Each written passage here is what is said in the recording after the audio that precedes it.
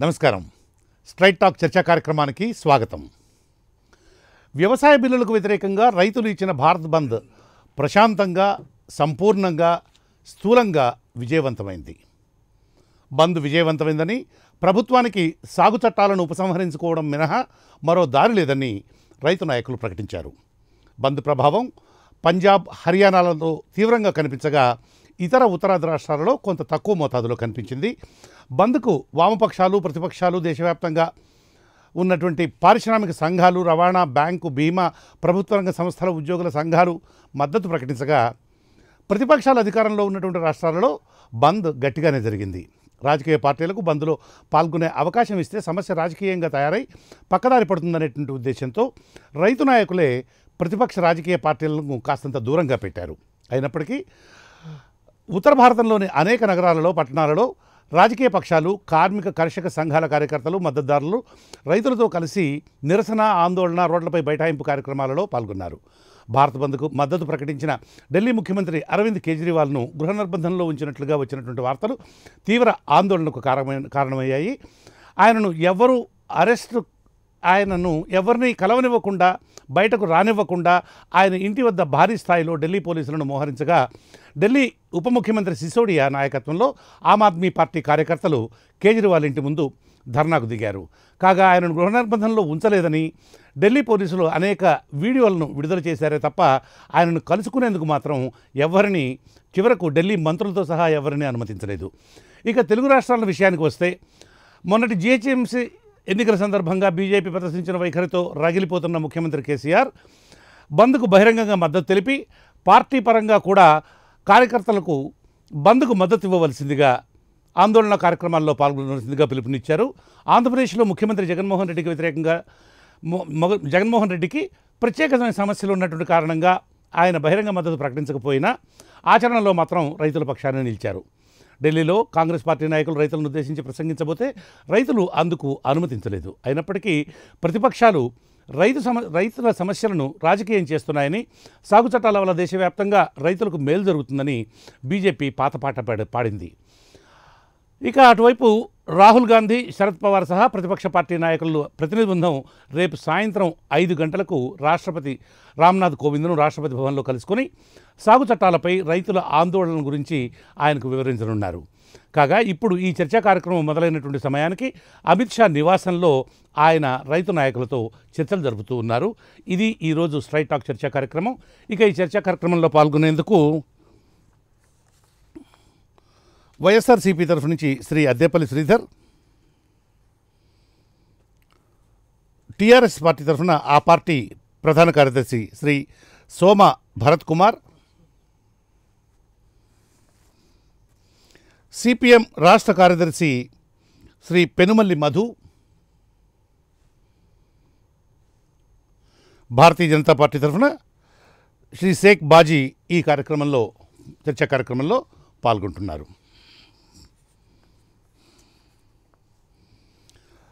బాజీ గారు good evening. ఏమైంది బంద్? బంద్ ఏమైంది? బంధు చేసిన వాళ్ళు అడగాల్సింది. నన్ను అడిగేశారు. చేసిన వాళ్ళని ఎడిదిరిగి అడుగుతాం? బంధు. కృష్ణమోహన్ గారు. మీతో పాటుగా మధు గారికి అద్దెపల్లి శ్రీగారి గారికి అదే విధంగా టిఆర్ఎస్ నాయకులకి చూస్తున్న వ్యూయర్స్ అందరూ కూడా నమస్కారం తెలియజేస్తా ఉన్నాను. బంధు ప్రజాస్వామ్య పద్ధతిలో నిరసన తెలియజేయటాన్ని తప్పు కాదు.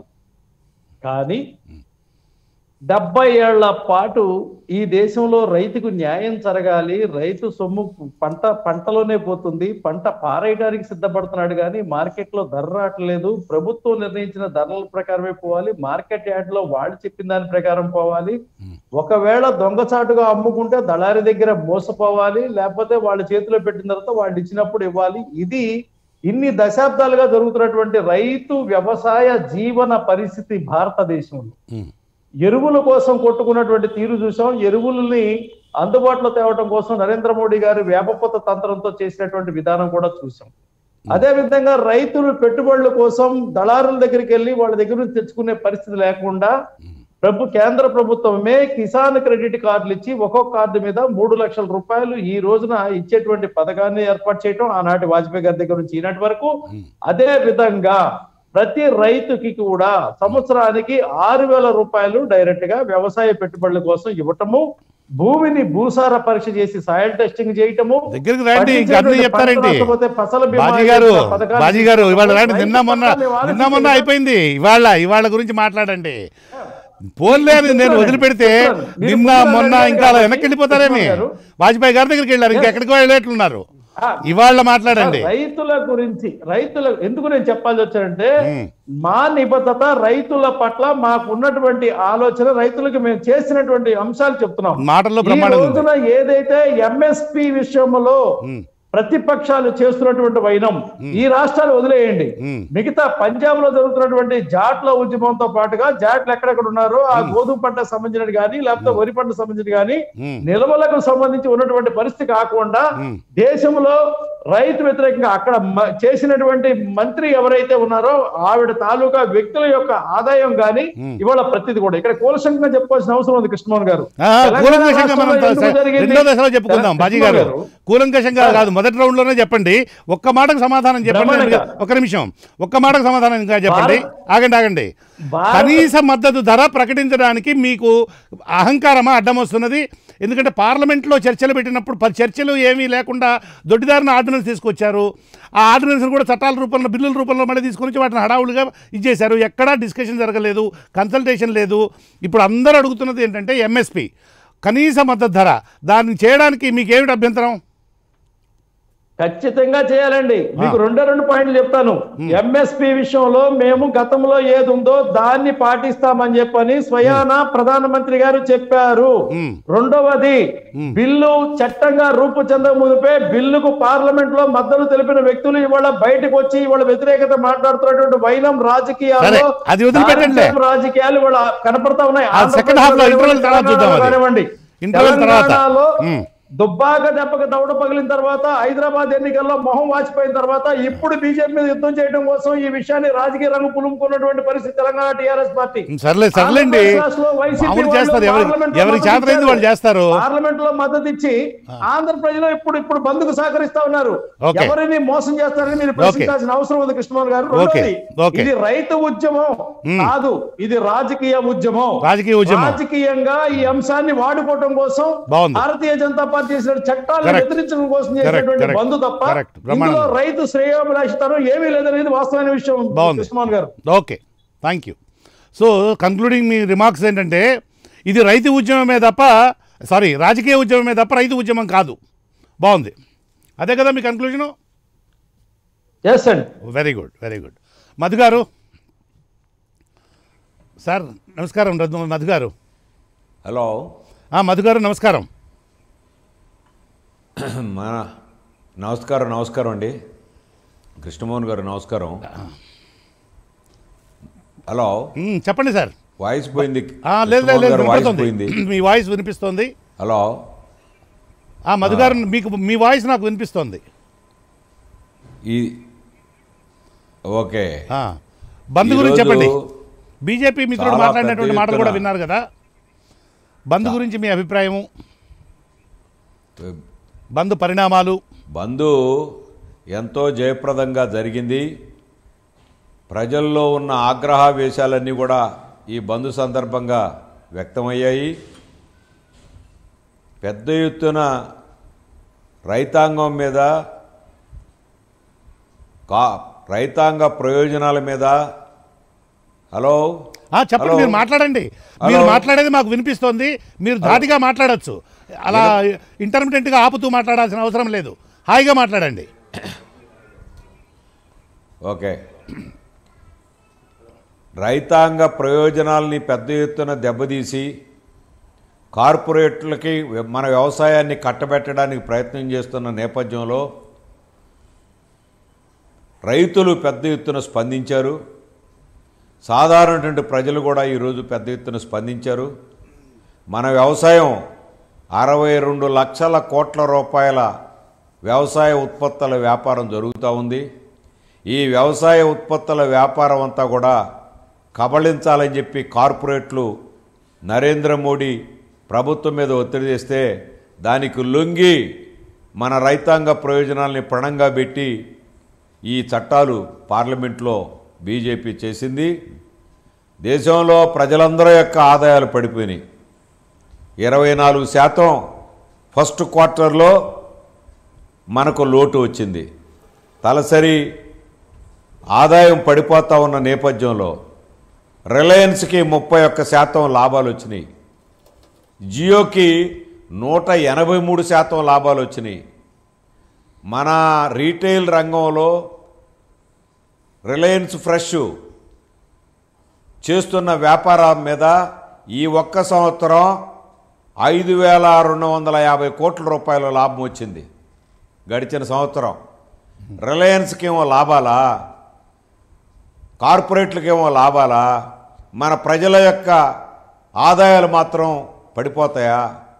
కరోనా అంతకు ముందే కరోనా కంటే ముందే మన ఆర్థిక వ్యవస్థలో మాంద్యం ఏర్పడ్డది. కరోనా వచ్చి నిరుద్యోగం పెరిగి పెద్ద ఎత్తున ఉపాధి దెబ్బతిన్న నేపథ్యంలో ప్రజల ఆదాయాలు దెబ్బతినిపోతున్న నేపథ్యంలో కార్పొరేట్ల లాభాలు వస్తున్నాయి. ఇలాంటి తరుణంలో మన వ్యవసాయ ఉత్పత్తుల వ్యాపారాన్ని మొత్తాన్ని కార్పొరేట్లు కబళించడం కోసం ప్రయత్నం చేస్తున్నారు. దానికి నరేంద్ర మోడీ చట్టాలు తెచ్చి మన మన రైతాంగ ప్రయోజనాల్ని పణంగా పెట్టారు. మన దేశం యొక్క వార్షిక బడ్జెట్ ముప్పై లక్షల కోట్ల రూపాయలు. వ్యవసాయ ఉత్పత్తుల యొక్క వ్యాపారం అరవై రెండు లక్షల కోట్ల రూపాయలు. అరవై రెండు లక్షల కోట్ల రూపాయల వ్యాపారాన్ని ఈరోజు నరేంద్ర మోడీ పణంగా పెట్టి రై- రైతుల ప్రయోజనాలను పణంగా పెట్టి కార్పొరేట్లకి కట్టబెట్టడానికి ప్రయత్నం చేస్తున్నారు. దీని మీద పెద్ద ఎత్తున ఆగ్రహవేశాలు. ఎవరైతే మొన్న పార్లమెంటులో ఈ చట్టాలకి అనుకూలంగా ఓట్లేశారో వాళ్ళు కూడా వచ్చి రైతాంగ ప్రయోజనాల కోసం జరిగే ఈ బంద్ని బలపరచాల్సిన పరిస్థితి వచ్చింది. చాలా అపూర్వమైనటువంటి స్పందన వచ్చింది. మా మా అంచనా ప్రకారం ఖచ్చితంగా నరేంద్ర మోడీ మెడలో వంచాల్సిందే చట్టాలు వెనక్కి తీసుకోవాల్సిందే. నరేంద్ర మోడీ ఈ ఇప్పుడు ఉన్న ఈ పద్ధతుల్లో ఈ చట్టాలను కొనసాగించడం అనేది సాధ్యం కాదు. మన వ్యవసాయాన్ని కార్పొరేట్లకు కట్టబెట్టడాన్ని రైతాంగం అంగీకరించడానికి సిద్ధంగా లేదు అని చెప్పేసి నేను మనవి చేస్తున్నాను. మొన్న జరిగినటువంటి ఉప ఎన్నికల్లో మధు గారు మొన్న జరిగినటువంటి ఉప ఎన్నికల సందర్భంగా బీజేపీకి చాలా చోట్ల విజయమే లభించింది. అంటే ప్రజలకు వీళ్ళ యొక్క నిజస్వరూపం అసలు తెలియదనా? లేకపోతే వీళ్ళు అనుసరిస్తున్నటువంటి విధానాలకు వాళ్ళు జేజేలు పలుకుతున్నారా? ఎలా అర్థం చేసుకోవాలి ఇది? మొన్న జరిగినటువంటి ఎన్నికల్లో స్థూలంగా దేశ రాజకీయాల్లో వివిధ ప్రాంతీయ పార్టీలని ఈ జాతీయ పార్టీ బీజేపీ మత ప్రాతిపదిక మీద ప్రజల్ని విభజించేటువంటి కార్యక్రమం ప్రారంభమైంది. దానికి మూడు మూడు వందల డెబ్బై అధికరణాన్ని రద్దు చేశారు జమ్మూ కాశ్మీర్లో. ఓకే. ఆ తర్వాత రామాలయం రద్దన రామాలయ నిర్మాణం. చేపట్టారు. బాబ్రీ మసీదుని కూలగొట్టినటువంటి వాళ్ళ మీద బాబ్రీ మసీదుని కూలగొట్టినటువంటి వాళ్ళ మీద ఉన్న కేసులు రద్దు చేశారు. ఒకదాని తర్వాత ఒకటి ఒకదాని తర్వాత ఒకటి. ఓకే. త్రిబుల్ తరాక్ అనేటువంటి పేరుతో విభజన రాజకీయాలు మత విభజన అనేటువంటిది మెజారిటీ మతాన్ని రెచ్చగొట్టి ఆ రకంగా విభజన రాజకీయాలతో ఉన్మాదంతో ప్రజల్ని ఆకట్టుకునే దానికోసం బీజేపీ ప్రయత్నం చేసింది. పచ్చి ఉన్మాదం ఇది. దీని భోగాతో ఓకే. కొద్ది రోజుల్లో అర్థమైపోద్ది. మొదట్లో ప్రజలు బీజేపీకి ఎందుకోట్లేదు భూ పోరాటాలు చేశారా? కార్మికుల పోరాటాలు చేశారా? రైతాంగ పోరాటాలు చేశారా? రైతాంగానికి ఏమైనా సాధించారా? దేశ స్వాతంత్ర్యం కోసం పోరాడారు వీళ్ళు? ఎందుకంటే కేవలం మతం అంటే అట్లా కాదు మధు గారు ఇవన్నీ చేసినటువంటి చరిత్ర మీకు ఉంది కదా. మీకు గౌరవప్రదమైనటువంటి తెచ్చుకున్నారు. ఒక్క నిమిషం మధు దీ- గారు. దీంతో ఓకే ఓకే ఎనీవే. మళ్ళీ సెకండ్ రౌండ్ ఆఫ్ డిస్కషన్లోకి వద్దాము. Thank you sir thank you very much అయ్యా శ్రీధర్ గారు మీ పార్టీ కొంచెం తటస్థంగా అటు ఇటు కాకుండా కొంత బయటపడి కొంత బయటపడకుండా ఏవో మీకు కొన్ని ప్రత్యేకమైన కష్టాలు ఇబ్బందులు సమస్యలు ఇట్లాంటివి ఏవో ఉన్నట్టున్నాయి. అసలు ఏంటి మీరు ఏం స్టాండ్ తీసుకున్నారు ఏం స్టాండ్ తీసుకుంటూ ఉన్నారు? చెప్పండి కొంచెం.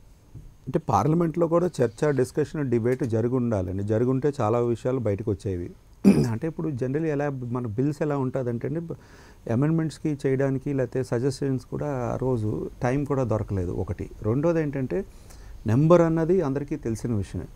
సో మ్యూట్ మెజారిటీతో అక్కడ లోక్సభలో కానీ రాజ్యసభలో కానీ తీసుకుని వెళ్ళారని అందరికీ తెలిసిన విషయం.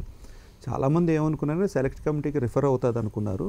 సో మన లోక్సభ వరకు మనం అడ్డపెట్టకూడదని చెప్పి ఒక ప్రిన్స్ ఇన్ ప్రిన్సిపల్ పాలసీ తీసుకుని మనం వైఎస్ఆర్సీపీ ఆ రోజు పార్లమెంట్లో లోక్సభలో మనం సపోర్ట్ చేయడం జరిగింది. అంటే సెలెక్ట్ కమిటీకి రిఫర్ చేస్తారు. సెలెక్ట్ కమిటీకి డిస్కషన్ డిబేట్ అవుతుంది మన పార్లమెంట్ మెంబర్స్ కూడా ఉంటారు అని అందరూ చర్చిస్తారని. మంచి చేసినా కూడా మంచి చేసినట్టు అనిపించాలి. అది రైతులకి ఇప్పుడు మంచి చేసినట్టు అనిపించట్లేదు. ఎందుకు? ఆ కారణం మేజర్గా అంటే ఏదైతే మినిమం సపోర్ట్ ప్రైస్ ఉన్నదో ప్రామిస్ చేయడం ఏంటి? బిల్లులో మాడిఫికేషన్స్. తీసుకుని వచ్చి అమెండ్మెంట్స్ తీసుకుని వచ్చి లేదా ఆర్డినెన్స్ తీసుకుని వచ్చి చేయవలసిన బాధ్యత ఈరోజు సెంట్రల్ గవర్నమెంట్ మీద ఉంది. ఎందుకు అంటున్నానంటే పార్లమెంట్లో ప్రామిస్ చేసిన స్పెషల్ కేటగిరీ స్టేటస్ కానీ చాలా అంశాలు కానీ బుండెల్ఖండ్ ప్యాకేజ్ కానీ ఆంధ్ర రాష్ట్రానికి ఎందుకు ఇంప్లిమెంట్ చేయట్లేదు అని అంటే అది ఒక మియర్ స్టేట్మెంట్ ఉన్నది కానీ ఏపీఆర్ బిల్ ప్రకారంగా దాంట్లో లేదు. మేము బిల్ మీద బిల్ ప్రకారంగానే వెళ్తామని అంటున్నారు.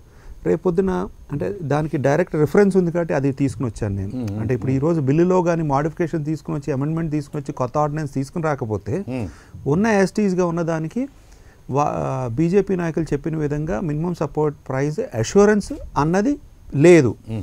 సరే మినిమం సపోర్ట్ ప్రైస్ అష్యూరెన్స్ దేనికి ఇస్తున్నాము అంటే అన్ని ప్రోడక్ట్స్కి ఇవ్వట్లేదు. అన్ని ఉత్పత్తులకి ఇవ్వట్లేదు. కమర్షియల్ క్రాప్స్కి ఎలాగే ఇవ్వట్లేదు మనం. మార్కెట్ బట్టి అవి ఎలాగే వెళ్తున్నాయి. ఇప్పుడు దానికి కంపారిజన్గా ఏం చెప్తున్నారంటే మే జనరల్ బీజేపీ నాయకులు ఏదైతే మిల్క్ రివల్యూషన్ వచ్చిందో పాల విప్లవం వల్ల క్షీర విప్లవం. క్షీర విప్లవం వల్ల మార్పులు వచ్చినాయి మంచి రేట్ వచ్చింది అని అంటున్నారు. అదేవిధంగా రెండో ఆస్పెక్ట్ ఏంటంటే ఎక్కువ రొయ్యలు కానీ చేపలు కానీ ఎక్స్పోర్ట్స్ జరుగుతున్నాయి కదా. Yes there is no doubt about it ఆ రెండింటికి కొంత మేలైన విధంగా ఆ కార్యక్రమాలు చేసే వాళ్ళకి డబ్బులు వస్తున్నాయి. కానీ వాళ్ళు హ్యాపీ కాదు. వాళ్ళకి ఎన్నో కష్ట నష్టాలు ఉన్నాయి. అది వదిలిపెట్టేసింది. ఇప్పుడు రైతు వారి కార్యక్రమాలు చేసే వాళ్ళకి చిన్న వాళ్ళకి ఈ అమెండ్మెంట్స్ వల్ల లాభం చేకూరుతుందా నష్టం చేకూరుతుందా? నా పర్సనల్ ఒపీనియన్ కానీ మా పార్టీ ఒపీనియన్ కానీ ఏంటంటే నష్టం చేకూరే ఛాన్స్ ఎక్కువ ఉన్నది కాబట్టి దీంట్లో మాడిఫికేషన్ సజెస్ట్ చేస్తున్నాం ఆ విధంగా తీసుకుని రావాలి అని వైఎస్ఆర్సీపీ కూడా నమ్ముతున్నది. ఎందుకనంటే అంటే మీరు భారత బంద్కు మీరు మద్దతు ఇచ్చారా ఇవ్వలేదు? మద్దతు ఇచ్చామండి. మా ఈస్ట్ గోదావరి మొత్తం అంతా కూడా మేము మద్దతు ఇచ్చాము. పార్టీ పరంగా మద్దతు ఈస్ట్ గోదావరి కాదండి మీ ఆంధ్రప్రదేశ్ చెప్పండి. కాదు స్పెసిఫిక్ అంటే స్పెసిఫిక్గా అది మీడియా ఛానల్స్లో కూడా హైలైట్ చేశారు. మా ఈస్ట్ గోదావరి ఎంత బలంగా మేము గోదావరి వెస్ట్ గోదావరి. అమలాపురం రాజమండ్రి అంటే చెప్పకండి. లే- లేదు ఆంధ్ర. ఆంధ్ర రాష్ట్రంలో ఉన్న యాక్టివిటీస్ అన్నిటి కూడా గవర్నమెంట్ కూడా ఒక వ్యూ ఏమి ఇచ్చారంటే అంటే ఒంటి గంటకి ఆఫీసులు పెడితే బాగా క్లోజ్ చేస్తే బాగుండేది. ఇట్లాంటివన్నీ కూడా రైడర్స్ పెట్టారు అన్ని కూడా. రైడర్స్ ఇప్పుడు వాళ్ళని చూడండి రైట్ రాయల్గా ఇచ్చేసేసారు టిఆర్ఎస్ వాళ్ళు. మీద- వాళ్ళకు ప్రత్యేకం లేండి. అసలు వాళ్ళ ప్రత్యేకమేం కాదు. వాళ్ళ మీద చాలా అంశాలు ఉన్నాయి. వాళ్ళ మీద లేవనెత్తిన అంశాలు ఏంటి? టీఆర్ఎస్ మీద ఒకటి రైతు బంధు రైతు రుణమాఫీ రైతు బంధు. ఎందుకు ఇవ్వలేదు? ఎందుకు డిలే అయ్యింది నిన్న మొన్న రివ్యూ మీటింగ్ పెట్టి ఏడు వేల ఐదు వందల కోట్ల దాకా ఇవ్వాల్సి వచ్చింది బాకీలు. ఈ నెలాఖరు లోపల క్లియర్ చేస్తానన్నారు. దెన్ ఈ ధర్నీ పోర్టల్లో ఈ ఆ లోటుపాట్లు ఇవన్నీ ఉన్నాయి. దెన్ సర్వే చేయకుండా ఈ ధర్నీ పోర్టల్ తీసుకున్నట్టు రైతులందరూ ఇబ్బంది పడుతున్నారు అని ఇష్యూస్ ఉన్నాయి. సో వాళ్ళకున్న లోటుపాట్లు ఆ రాష్ట్రంలో ఉన్న లోటుపాట్లు అవి వేరే అంశాలు. బట్ మనం అందరం కోరుకునేది ఏంటంటే ఇంకా చదువుకోని వాళ్ళు చాలామంది ఉన్నారు. లిటరసీ రేషియో మనం అనుకున్న విధంగా భారతదేశంలో లేదు కాబట్టి ఇంకా అనగారిన వర్గాలు ఇంకా చాలా ఏరియాస్ ఉన్నాయి. ట్రైబల్ ఏరియాస్ చాలా మీరు సపోర్ట్ చేస్తుంది ఇప్పుడు కేసీఆర్ చూస్తే ఆయన డైరెక్ట్గా పార్టీ కార్యకర్తలు పిలిపించారు. ఆందోళన పాల్గొండి రోడ్ల మీద బైఠాయించండి అని అంటూ చెప్పారు. అట్లా అట్లా ఏమన్నా డైరెక్ట్గా బయటకు వచ్చినట్లు లేదు? మీరు దాక్కున్నట్లుగా ఉంది? అంటే సార్ మేము జనరల్లీ అంటే ఇప్పుడు we can compare leadership leader to leader that ఇద్దరు రాష్ట్ర సీఎంలు కాబట్టి. బట్ కేసీఆర్ గారు నడవడి తీసుకున్నాం అనుకోండి వారితో ట్రావెల్ చేసిన వాళ్ళందరూ వాళ్ళతో ఉన్నారు ఆయనతో. రైట్ ఫ్రమ్ ఆల నరేంద్ర కానీ విజయశాంత్ కానీ మళ్ళీ ఎక్కడెక్కడికో మరి వెళ్ళిపోతారు మీరు బాబు. మీరు ఎక్కడికి- ఇంతకే పరిమితంగా అండి. ఇవాటి నుంచి ముందుకెళ్ళడానికి ఒప్పుకోను నేను. అది కాదు. వారు కాంగ్రెస్తో ట్రావెల్ చేశారు వారు బీజేపీతో ట్రావెల్ చేశారు అరే రామచంద్ర. మరి- అదే మరి ఆయన ఆయన వైఖరి అంతే ఆయనకు చెల్లుబాటు నడిచింది. తెలంగాణ ఒక ఎడ్యుకేషన్తో ఆయన బలంగా నాయకత్వం వచ్చింది. ఈ రోజు తీసుకున్న స్టాండ్ దాని మీద ఉంటారా లేదా అని అది వదిలిపెట్టేద్దాం. ఇవాళకైతే ఆయన ప్రమాణంగానే ఉన్నారు కదా. అంటే ఎ- బ్రహ్మ మరి నిన్న మొన్న బాగాలేదు కదా. ఆ- రాష్ట్రాల మీద ఆ రాష్ట్రం మీద. రాజకీయం అవసరం లేదు. ఓకే. మన టార్గెట్ గానీ మనం ఏంటంటే రైతు మీ మీ సంగతి చెప్పరా? మా సంగతి మేము క్లియర్గా చెప్తున్నాం కదా. ప్రోబందే కదా. మేము రాష్ట్రం అంతా. మేము. కోరుకునేది ఏంటంటే విచ్ఛిన్నమైన కార్యక్రమాలు చేయకుండా ఆస్కారం ఇవ్వకుండా మధ్యాహ్నం నుంచి ఆఫీసులు నడిపించి ప్రభుత్వ సంస్థలకి నష్టం చేకూర్చకుండా. బంద్ చేస్తూ ప్రొటెస్ట్ అనేది తెలియాలి బీజేపీకి. అది very very clear about that protest అనేది తెలియాలి. బట్. ఏంటంటే కొన్ని విచ్ఛిన్న శక్తులు వచ్చి నష్టం చేకూరే విధంగా ఉన్నప్పుడు ఏంటంటే ఇబ్బంది అయిపోతుంది కదా మనందరికీ ఇబ్బంది. మన నష్టం మనకే నష్టం కదా ప్రభుత్వ భరత్. కుమార్ గారు మీకు మీకు ప్రచ పొగ పెట్టిపోయినారు మొన్న అందరూ వచ్చేసి. దాంతో మీ మీ నాయకుడికి ఎప్పుడెప్పుడా ఎప్పుడెప్పుడా అని కత్తి తీసి వరలో కూడా పెట్టలే ఇంకా. వెంటనే ఈ- సందర్భం వచ్చేసింది. మీరు గమనిస్తున్నట్టుగా లేదు. ఈ మున్సిపల్ హైదరాబాద్ మున్సిపల్ ఎలక్షన్స్ కన్నా ముందు నుంచే కేంద్ర ప్రభుత్వ విధానాలకు సంబంధించి టీఆర్ఎస్ పార్టీ పెద్ద ఎత్తున కార్యక్రమాలు తీసుకుంటాము అని చెప్పేసి ముఖ్యమంత్రి గారు డైరెక్ట్గా అన్యాపదేశంగా నా నాలుగైదు సార్లు చెప్పారు. నాలుగైదు సార్లు చెప్పారు. అవన్నీ పక్కన పెడదాం. ఒక విషయం మీద చర్చించుకునేటప్పుడు మనల్ని తప్పించుకునే దానికోసం పక్కాళ్ళ మీద వేసే కార్యక్రమాలు పక్కన పెడితే ఈ చట్టం ఇది చాలా గమ్మత్ చట్టం ఇది. తోడేలికి మేకకి సమానత్వం ఉందని మాట్లాడుతుంది బీజేపీ. రైతులు అరవై ఆరు శాతం మంది రైతులు. కొంత సౌత్లో రైతులు కొంత అన్ని రకాల డెవలప్మెంట్కి ఎక్స్పోజ్ అయ్యి కొంత కొంత విషయ పరిజ్ఞానం ఉన్నది. నార్త్లో అంత కూడా ఉండదండి. చదువు కూడా తక్కువ. చదువు తక్కువ.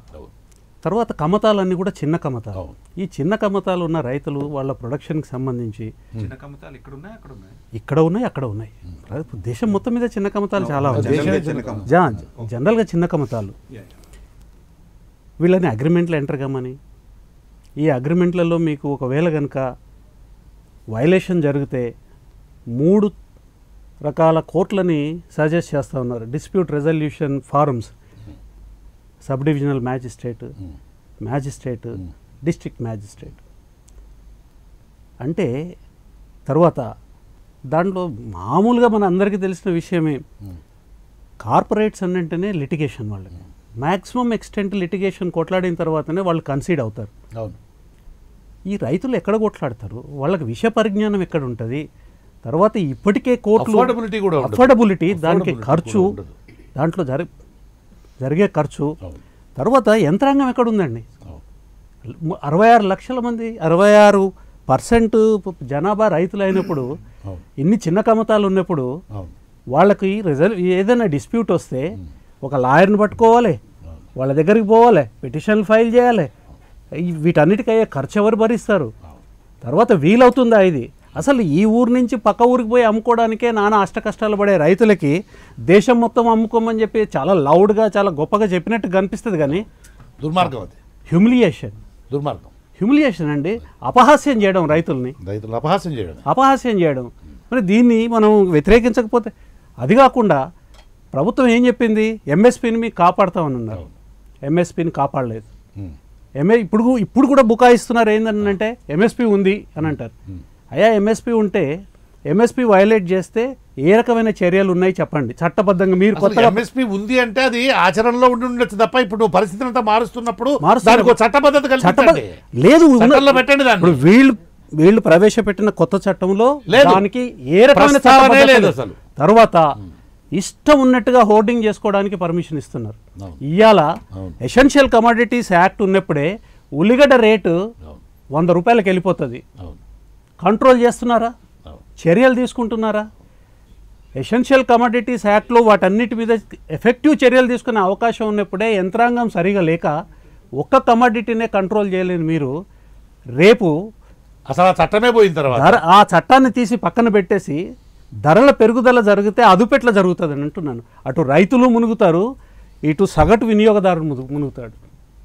ఈ విషయాలకు సంబంధించి ఒక్క అక్షరం కూడా లేదండి సార్. ఒక అక్షరం లేదు చట్టంలో. పూర్తి దుర్మార్గం. పై పైన పెద్ద పెద్ద మాటలు చాలా పెద్ద పెద్ద మాటలు. చాలా. ఇది దీనివల్ల అంత జరుగుతుంది దీనివల్ల ఇంత జరుగుతుంది. పెట్రోల్ ముప్పై ఐదు రూపాయలకి ఇస్తాం డీజిల్ ముప్పై రూపాయలకే ఇస్తాం అన్నట్టుగానే ఉంది బీజేపీది. అంతర్జాతీయ మార్కెట్లో డీ క్రూడ్ ఆయిల్ ధరలు రోజు రోజుకి పడిపోతుంటే మీరు చూస్తూనే ఉన్నారు గత నెలగా ప్రతి రోజు పెంచుకుంటూ పోతా ఉన్నారు. సగటు వినియోగదారు పరిస్థితి ఇవాళ పెట్రోల్ వినియోగదారులది డీజిల్ వినియోగదారుల పరిస్థితి ఏదైతే ఉందో అదే పరిస్థితి రేపు రైతులకు పడుతుంది. ఇది రైతులను పూర్తిగా ముంచే కార్యక్రమం అండి. ఇంకా అనేక విషయాలు ఉన్నాయి. ఇంకా అనేక విషయాలు ఉన్నాయి చెప్పేదానికోసం రైతులు ఇవాళ రోడ్ల మీద ఇవాళ పార్టీలు పిలిపించినారని అంటున్నారు రేపు అక్కడ రైతులు రోడ్ల మీదకి వచ్చినారు. మినిమం ఒక హ్యూమన్ యాంగిల్ అనేది లేకుండా వాళ్ళని రెచ్చగొట్టారు. వీళ్ళ ఐదు వందల రైతు సంఘాలు. ఆర్గనైజ్ ఇంకా ట్రాజడీ ఏంటంటే దీన్ని వాళ్ళే రాజకీయం అయిపోయింది ఇది రాజకీయ ఆందోళన అని అంటున్నారు ఇందాక బాజీ గారు కూడా మాట్లాడుతూ. ఇది పొలిటికల్ యాజిటేషన్ అంటున్నారు. స్మృతి ఇరానీ కూడా అదే అంటా ఉన్నారు. నేను చిన్న విషయం ఫిగర్ చెప్తా. Last three years last three years అంటే ఇక్కడ సంవత్సరంన్నర అక్కడ ఎన్డీఏ వన్లో సంవత్సరంన్నర కలిపితే నూట నూట పది కోల్డ్ స్టోరేజెస్ పర్మిషన్స్ ఇచ్చారండి గవర్నమెంట్వి. అంటే గవర్నమెంట్ టు గవర్నమెంట్ అంటే across the country across the country అందులో ఉభయ తెలుగు రాష్ట్రాలు కలిపితే ఏడు వచ్చినాయండి ఉభయ తెలుగు రాష్ట్రాల్లో. అంటే ఇప్పుడు హండ్రెడ్ పర్సెంట్ ఈ బిల్లు బీజేపీ నాయకులు చెప్పిన విధంగా లబ్ధి చేకూరాలంటే ఇన్ఫ్రాస్ట్రక్చర్ గవర్నమెంట్ క్రియేట్ చేయాలి. ఇప్పుడు నేను చిన్న విషయం చెప్తాను నాకు పర్సనల్గా రెండు మూడు ఎంక్వైరీల్లో కూడా నాకు కొంత ఇన్ఫర్మేషన్ ఉన్నది. ఆంధ్రప్రదేశ్లో గుంటూరు ఆ చుట్టుపక్కల ఉన్న ఏదైతే కోల్డ్ స్టోరేజ్లో మిర్చి స్పెషల్లీ ఎక్స్పోర్ట్ చేసే దాంట్లో కొంచెం ఒక టైం వచ్చేటప్పటికి ఫైర్ యాక్సిడెంట్లు అవుతూ ఉంటాయి. అవునవును. అక్కడ అక్కడ కోల్డ్ స్టోరేజ్లు. ఎవ్రీ ఇయర్ అవుతాయండి. అదే అదే రిపీటెడ్గా. దాని ఆ కోల్డ్ స్టోరేజ్లో ఉన్న మెటీరియల్ అంతా యాక్చువల్లీ రైతులది. అదంతా మాయం. లెక్క పత్తా ఉండదు. రైతులందరూ అన్యాయం అయిపోయిన వాళ్ళు ఎంతోమంది ఉన్నారు. ఆ ఇన్సూరెన్స్ క్లెయిమ్ కోల్డ్ స్టోరేజ్ ఓనర్కి వెళ్తున్నదని అతని పుస్తకాల ప్రకారంగా దీని మీద కోల్డ్ స్టోరేజ్లో రైతులు పెట్టుకున్న మిర్చి మీద కూడా అతను అప్పు తెచ్చేసుకున్నాడండి. తను. అలాంటి ఎన్ని సంఘటనలు జరిగి ఉట్టి గుంటూరు ఆ చుట్టు ఆ చుట్టుపక్కల ఏదో మిర్చి ఆడు బ్రహ్మాండ. మిర్చి ఆడు కాబట్టి. అంటే ఉన్న వ్యవస్థల్లో ఇలా ఉంటున్నప్పుడు ఫైర్ యాక్సిడెంట్ చేసి లోపల ఉన్న రైతులు మిర్చిని ఎక్స్పోర్ట్ చేసేసి డమ్మీ ఉన్న కోల్డ్ స్టోరేజ్ అంతా కూడా పెట్టి డమ్మీ ఉన్న కోల్డ్ స్టోరేజ్ ఫైర్ యాక్సిడెంట్లు అయితే క్లెయిమ్ మళ్ళీ అటు ఇటుగా మళ్ళీ అంటే ఎంత సామాన్యులు ఎంత దెబ్బతిన్న వాళ్ళు ఎంతోమంది ఉన్నారు. కోల్డ్ స్టోరేజ్లన్నీ క్రియేట్ చేయాలని ఇన్ఫ్రాస్ట్రక్చర్. ఈ ఈ ఈ ప్రకారంగా కూడా బీజేపీ చెప్పిన బిల్స్ ప్రకారంగా కూడా ముందరకు వెళ్ళాలంటే భారతదేశంలో ఎమర్జెన్సీగా కోల్డ్ స్టోరేజ్ రావాలి. ఎమర్జెన్సీగా స్టోరేజ్ ఫెసిలిటీస్ రావాలి. ఎమర్జెన్సీగా ట్రాన్స్పోర్ట్ ఫెసిలిటీస్ పెరగాలి. దెన్ బిల్లులో మాడిఫికేషన్ ఏంటంటే ఏదైతే మినిమం సపోర్ట్ ప్రైస్ ఏవైతే పది లేదా ఇరవై ఐటమ్స్కి ఏదైతే అనౌన్స్ చేస్తారో అది ప్రైవేట్ వ్యక్తులు కూడా మెయింటైన్ చేయాలి. Maintain mandatory. దానికంటే అబోవ్ తీసుకోవాలి కదా.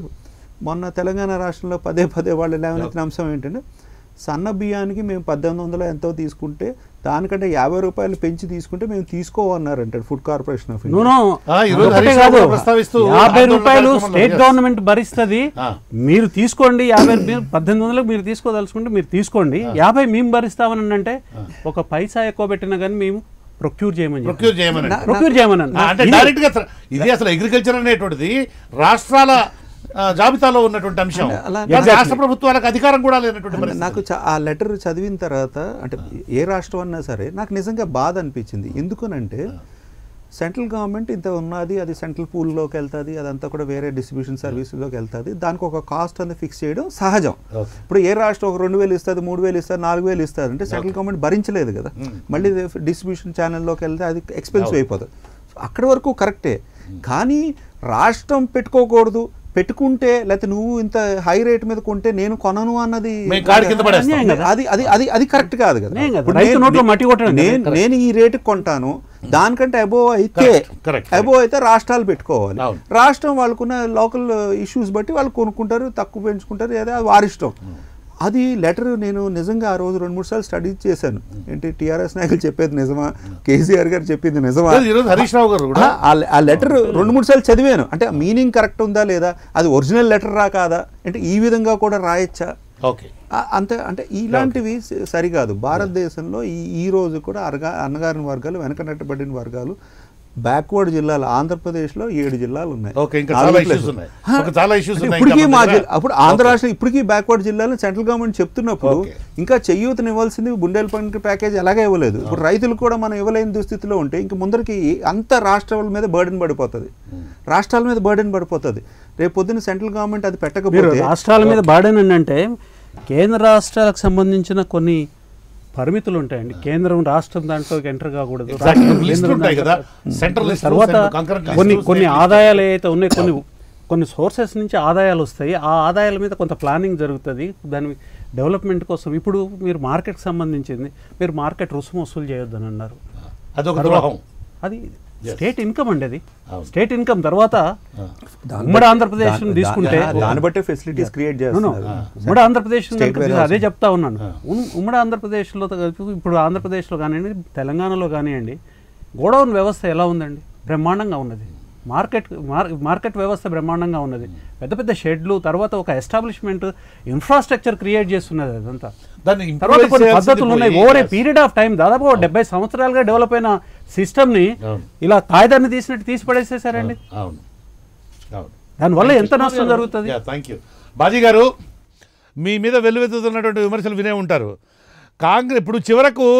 మీకు అధికారం ఇచ్చిన తర్వాత పరిస్థితి ఎలా తయారైందంటే కాంగ్రెస్ పార్టీయే బెటర్ అనేటువంటి స్థితికి తీసుకొచ్చేసారు మీరు. అవునండి అవునండి కరెక్టే మీరు చెప్పింది బ్రహ్మాండం కాదు కరెక్టేనండి అదే, అదే. కాంగ్రెస్ పార్టీ చాలా బెటర్ అండి రైతుల్ని. వాళ్ళు చేసినటువంటి గొప్ప పనులు. వాళ్ళు ఇచ్చినటువంటి ప్రయోగ ప్రయోజనాలు. ఆ రోజున కాంగ్రెస్ పార్టీ పడిపోయినప్పుడల్లా కాపాడినటువంటి కమ్యూనిస్టులు. ఈ రైతు కూలి సంఘాలతో పాపం రోడ్లు ఎక్కించుకొని కాల్పించుకొని చంపించుకొని అజ్జుమాలు అరెస్టులు చేపించుకొని అవును. బేడీ లేపించుకొని అనేక చేసినటువంటి కాంగ్రెస్ పార్టీ బ్రహ్మాండం అండి. మాట్లాడుతా పిలుస్తా ఉంటే. చర్చలకు వెళ్ళకుండా మొండి పట్టుదలగా జరిగేటువంటి వ్యవహారం ఏదైతే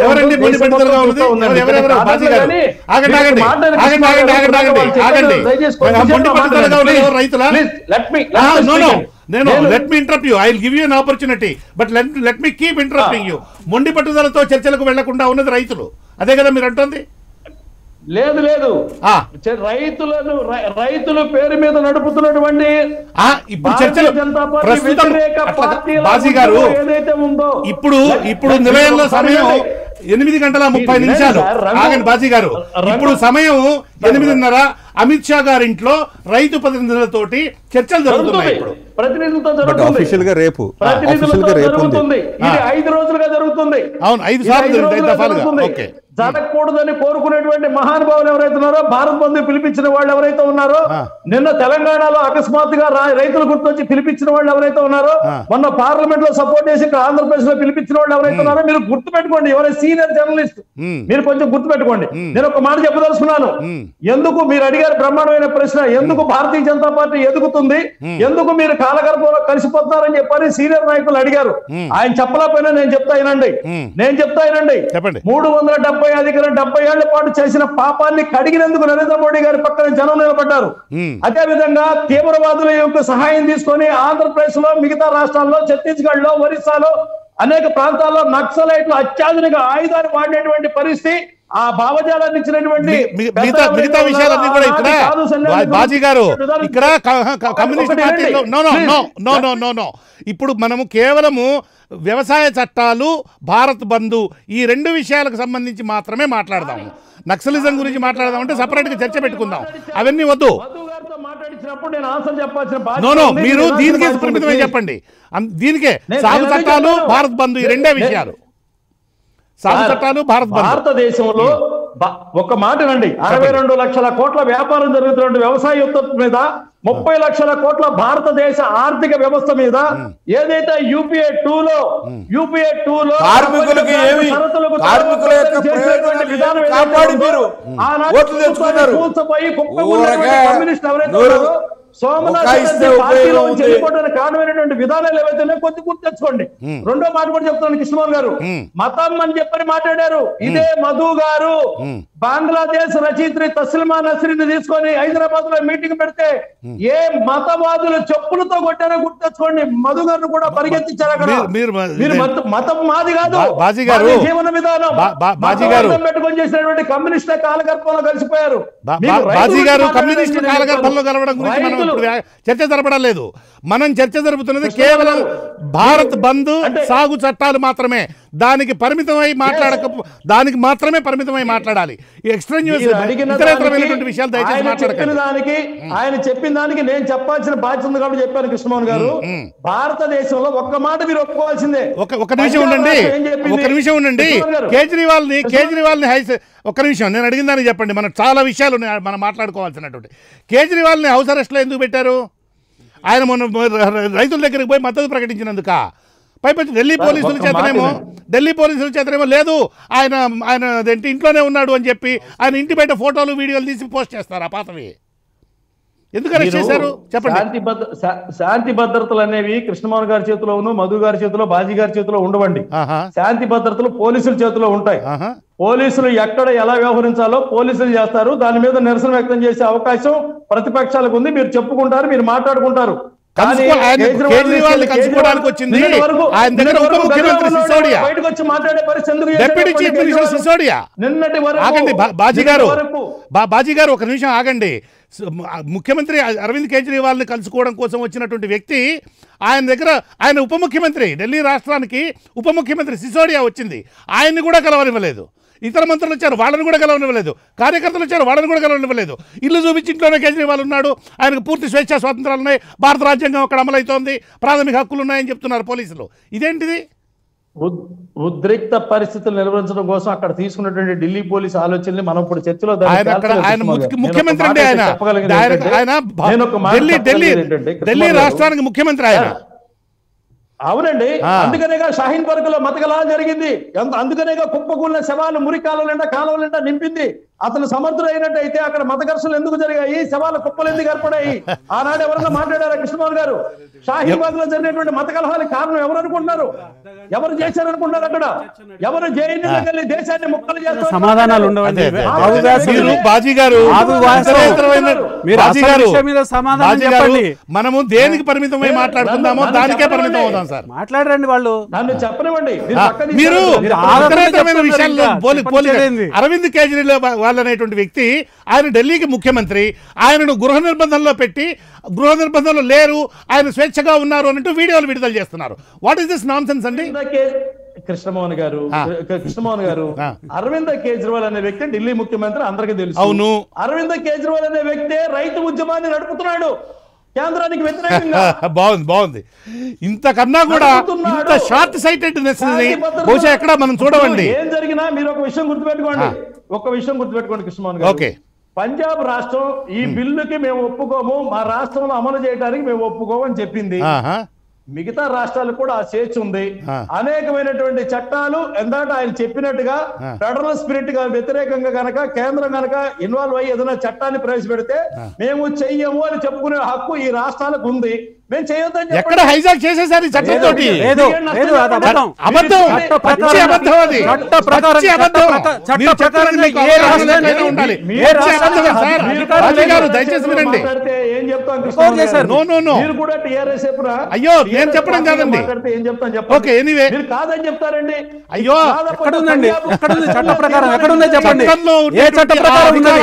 ఆ? తొలగించారు పార్లమెంట్ చేసిన చట్టాన్ని కాదని చెప్పి ముందుకు. పోయే అధికారం ఏ రాష్ట్రానికి ఉన్నది చెప్పండి చెప్పండి మీరు ఎందుకు మీరు చట్ట? ఉల్లంఘన చేయమని చెప్తారు చట్టం చేయొద్దు మీరు చట్ట ఉల్లంఘన చేయమంటున్నారు మీరు మీరు చట్ట మీ ఉల్లంఘన చేయమంటున్నారు. భాష సన్న బియ్యానికి మద్దతు ధర ఇవ్వలేకపోయారు కానీ ఓకే.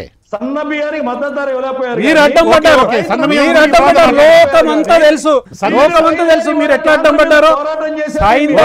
ఎట్లా అడ్డం పడ్డారు? ఒక నిమిషం. నేను మధు గారి దగ్గరికి భరత్ గారు. వెళ్తాను ఓకే థ్యాంక్ యూ బాజీ గారు. మళ్ళీ వస్తారు మీ దగ్గరికి. మధు గారు ఆయన బాజీ గారు చాలా విషయాలు చెప్పారు మీరు. మీరు రెస్పాండ్ కండి సార్.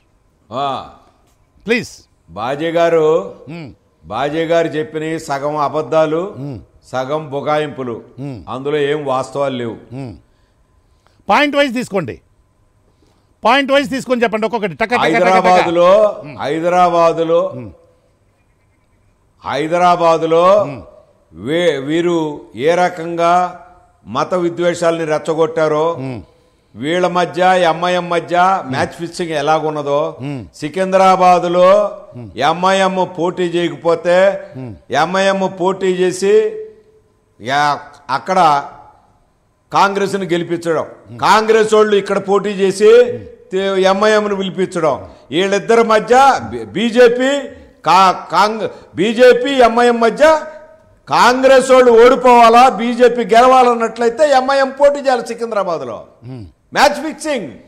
సికింద్రాబాద్ ఎంఐఎం వాళ్ళు గెలవాలంటే ఓల్డ్ సిటీలో చార్మినార్లో అక్కడ బీజేపీ పోటీ చేయాలా? బీజేపీ పోటీ చేయకపోతే ఎంఐఎం గెలవదు. ఆ రకంగా ఎంఐఎం బీజేపీ మ్యాచ్ ఫిక్సింగ్తో వీళ్ళు బతుకుతున్నారు. ఓకే, వీళ్ళు ఓకే, ఓకే, మన MIM సాగు ఒక చట్టాలు- మన సాగు మతోన్మాదం, కాదు కాదు మన సాగు ఈ రోజు రైతులు. ఈ రోజు ఈ రోజు రైతులు రైతుల యొక్క ప్రయోజనాల కోసం దేశానికి స్వాతంత్ర్యం వచ్చినప్పటి నుంచి సన్నకారు చిన్నకారు రైతులు వాళ్ళ ప్రయోజనాలు కాపాడబడాలన్నట్లయితే వాళ్ళకి అట్లా కాదు మధు గారు మధు గారు ప్రత్యేకమైనటువంటి- ఇప్పుడు ఈయన బాజీ గారు ఈ చట్టాలకు సంబంధించి కొన్ని కొన్ని కొన్ని విషయాలు చెప్పారు. వాటికి రెస్పాండ్ కాండి మీరు. ఆయన అదే చెప్తున్నా. ప్లీజ్ అదే అదే చెప్తున్నా. దేశానికి స్వాతంత్ర్యం వచ్చిన తర్వాత ఏ రాయితీలు అయితే రైతాంగానికి ఇప్పుడు దాకా ఉన్నాయో. ఆ రాయితీలన్నింటినీ ఈ మూడు చట్టాల ద్వారా రద్దు చేస్తున్నారు. కరెక్ట్ నా పాయింట్ ఏంటంటే వీళ్ళు రైతులకి ఫలాని రాష్ట్రంలో ఫలాని ప్రయోజనాలు మేము కాపాడామని చెప్పానండి. నేను అడుగుతున్నా ఆరేళ్ళయింది నరేంద్ర మోడీ వచ్చి. బీహార్లో బీహార్లో మార్కెట్లన్నీ వ్యవసాయ మార్కెట్లన్నిటిని కూడా ప్రైవేట్ పరం చేశారు. దేశంలో పద్దెనిమిది రాష్ట్రాల్లో ప్రైవేటీకరణ వ్యవసాయ మార్కెట్ల యొక్క ప్రైవేటీకరణ జరిగింది. ప్రభుత్వ మార్కెట్లన్నింటిని ఎత్తేశారు. ఈ పద్దెనిమిది రాష్ట్రాల్లో ఎక్కడైతే ప్రైవేటు మార్కెట్లే ఉండి ప్రభుత్వ రంగం లేదో వాటిలో బీహార్ ఒకటి. మొన్న మొక్కజొన్న హైదరాబాదులో తెలంగాణ రాష్ట్రంలో పద్దెనిమిది వందల యాభై రూపాయలకి పద్దెనిమిది వందలకి అమ్ముడుపోతే బీహార్లో పదకొండు వందల రూపాయలు. పన్నెండు వందల దాకా ఎక్కడైతే ప్రైవేటు మార్కెట్ పూర్తిగా ప్రైవేటు మార్కెట్ ఉందో వీళ్ళు చెప్పే స్వేచ్ఛా మార్కెట్ అంటే కనీస మద్దతు ధర. దగ్గర రైతాంగానికి. అమలు కాల. అదే మన రాష్ట్రంలో ఉమ్మడి రాష్ట్రంలో కానీ తెలంగాణలో కానీ ఇప్పుడు కొన్ని ప్రాంతాల్లో ప్రభుత్వ మార్కెట్లు ఉన్నాయి. అవును. అందువల్ల ప్రభుత్వం యొక్క జోక్యం వల్లే వాళ్ళకి రేట్ వచ్చింది. అవును. ఈ వాస్తవాన్ని వీళ్ళు గుర్తెరగడు. ఈ సమస్యల మీద వీళ్ళకి పట్టవు.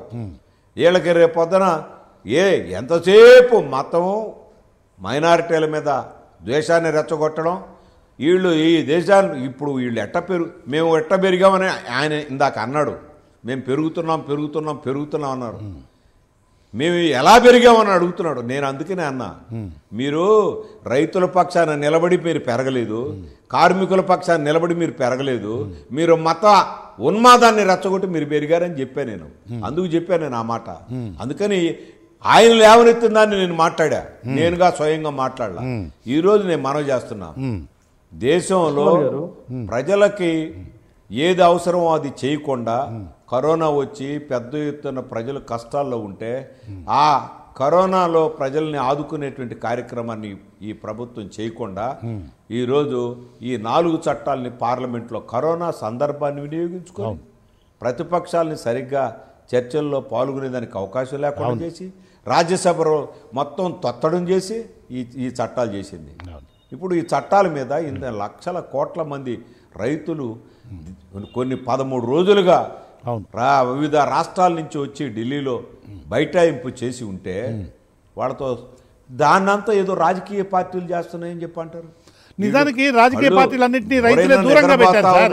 బీజేపీ వాళ్ళు ఇలాంటి విమర్శలు చేస్తారు అనే ఉద్దేశంతో రాజకీయ పార్టీల వాళ్ళు వస్తే వాళ్ళకి నమస్కారం పెట్టి రైతులు అయ్యా మీరు దూరంగా ఉండండి. ఇది మేమే చేస్తాము అంటే వామపక్ష మిత్రులు కూడా వాళ్ళు దూరంగా ఉన్నారు. కాదు. అవును. కాదు.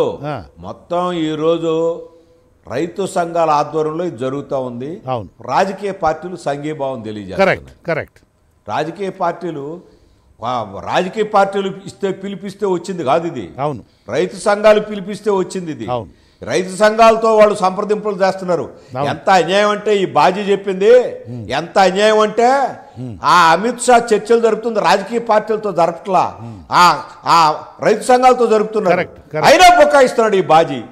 అది నాకు అర్థం కాదు ఈ బాజీ. వినండి, ఈ రకంగా కృష్ణమోహన్ గారు. ఈ ఊరికే.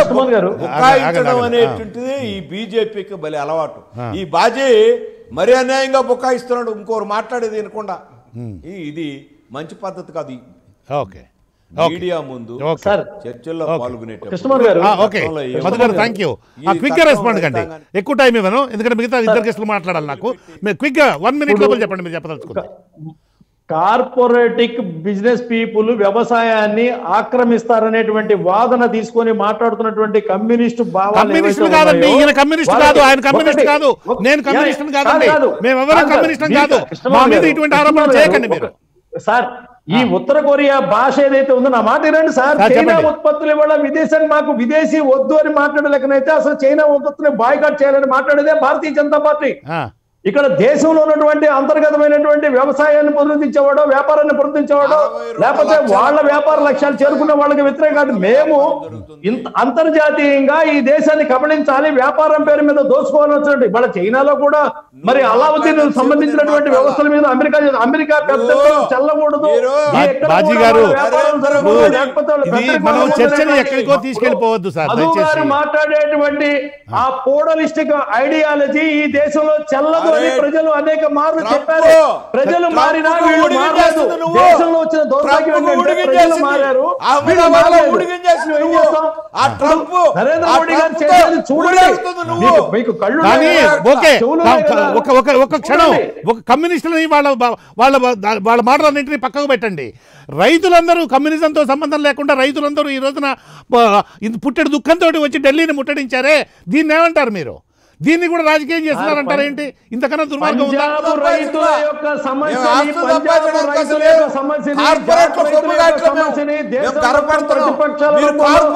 దాన్ని. మలుచుకోవాలని ఆలోచన జరుగుతున్నటువంటి ఎక్కడైతే ఈ భావజాలం నడుస్తుందో. వాళ్ళు చేస్తున్నటువంటి ఉద్యమాన్ని అంటే. మిమ్మల్ని ఎవరైతే బాజీ గారు? బాజీ బాజీ గారు బాజీ గారు ఒక్క నిమిషం మిమ్మల్ని ఎవరు వ్యతిరేకిస్తే వాళ్ళందరూ వాళ్ళందరినీ కమ్యూనిస్టులు అని గారు కట్టేస్తారు. ఏమంటే మీరు కమ్యూనిస్ట్? అంటే మిమ్మల్ని ఎవరు వ్యతిరేకిస్తే వాళ్ళు కమ్యూనిస్టులు? కమ్యూనిస్టులు అని చెప్పడం ద్వారా వాళ్ళని కండెమ్ చేయొచ్చు. ఇదేగా మీ ఉద్దేశం ఏమంటే కమ్యూనిస్టులు దేశ వ్యతిరేక శక్తులు. మేము అంటాం. మేము మతవాదులు అన్నారు కాబట్టి వాళ్ళు దేశ. ఏం మాట్లాడుతున్నారు సార్ మీరు. ఇంత ఇంతకన్నా దుర్మార్గం బహుశా కాదు కాదు. మతవాదులు అని అన్నప్పుడు జాతీయ జాతీయ భావన ఉన్న వాళ్ళని దేశ వ్యతిరేక శక్తులు అంటే అన్నప్పుడు అంటే దేశ శక్తులా మీరా? వాళ్ళు- దేశభక్తి మీ అబ్బా సొత్తా. దేశభక్తి మీ అబ్బా సొత్తా.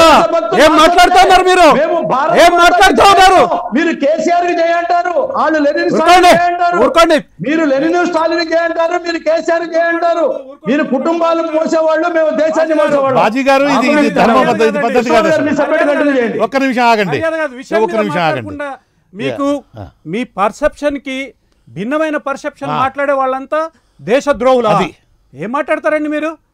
ఏం మీ- మీరు ఒక్కలే మీరు- దేశభక్తులా? అమ్మ బాబోయ్. ఎవరిని ఏ- రకంగా నిందిస్తారండి మీరు? ఏ రకంగా నిందిస్తారు? గారు. ఏం చేశారండి మీరు మీకు అవకాశం. ఏం చేశారండి మీరు ఈ దేశానికి? ఏడు సంవత్సరాలు మీకు పరిపాలన అప్పచెప్తే ఒక్కటి చెప్పండి ఇది చేసినాం మేము ప్రజలకి అని. ఒక్క విషయం చెప్పండి ఏం చేశారండి. మత కల్లోలాలు పెడతా ఉన్నారు. మత విధ్వంస. మత- ద్వారా విధ్వంసాన్ని తీసుకొస్తా ఉన్నారు. ఏం చేశారు చెప్పండి రైతులకు ఏం తో కలిసి? కలిసి వాళ్ళ మేయర్ పదవి అలంకరించబోతున్నారు. ఏదైతే మతవాద. మజ్లిస్. పార్టీ ఉందో దాంతో కలిసి మీరు. కూర్చోబోతున్నారు నిమిషం. మీరు మతవాదులతో కలిసి నడుస్తూ ఈ దేశానికి వ్యతిరేకంగా ఉన్నటువంటి పాకిస్తాన్ ప్రేరేపిత దయచేసి ఒక్క నిమిషం ఆగండి ఒక్క నిమిషం మనం. ప్రధానంగా మనకు మన టేబుల్ మీద ఉన్న అంశాలు మేజర్గా ఏంటంటే రైతులకి ఈ మార్పులు చేర్పులు తీసుకుని ఈ చట్టాల్లో మార్పులు చేర్పులు తీసుకుని వచ్చి ఏంటి ఇబ్బందులు అన్నప్పుడు? మేలేమని జరుగుతుందా?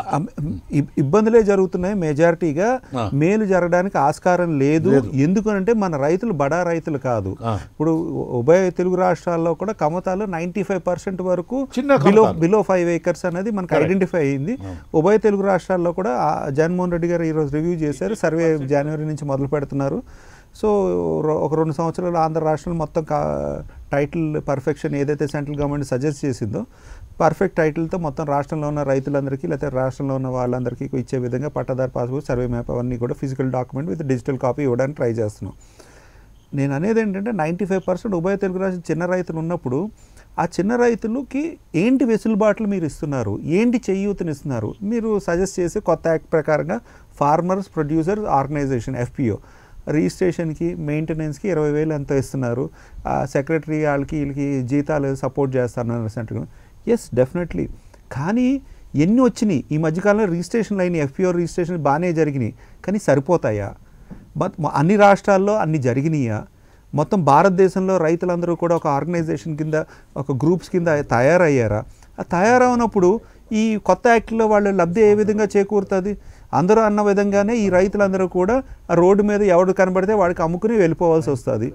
ఈ పెద్ద ప్లేయర్స్ మార్కెట్లోకి వచ్చిన తర్వాత ఈ బ్రోకర్స్ అందరూ ఇన్ ఇన్నాళ్ళు మార్కెట్ యార్డ్లో పనిచేసే వాళ్ళందరూ కూడా ఈ బడా సంస్థలు బ్రోకర్ల కింద అవుతారు. ఎప్పుడైతే గవర్నమెంట్ ప్రొటెక్షన్ లేకపోయేటప్పటికి ఒక పది రూపాయలు తక్కువకే తీసుకుంటారు ఇంకా పది రూపాయలు మార్జిన్ పెంచుకుంటారు ఈ బ్రోకర్ వ్యవస్థ. మీరు అన్నది రైట్. నేను మీ మందేస్తే ఉన్న నాలుగు ఊడిందనే సామెత అవుతుంది సార్ మీ- ఇది. మీరు అన్నది రైట్ భాస్కర్ గారు? బ్రోకర్ అప్పులపాలు అవుతారండి రైతులు. మిడిల్ మ్యాన్ కానీ బ్రోకర్ అయ్యి చివరికి మొత్తం భూములన్నీ కాదు కాదు అప్పులపాలు కాదు. ఇప్పుడు ప్రస్తుత పరిస్థితి పరిస్థితిలో ఏర్పడుతుంది. మూడున్నర కోట్ల లక్షల మంది మాత్రమే రైతులు ఆత్మహత్యలు చేసుకున్నారు.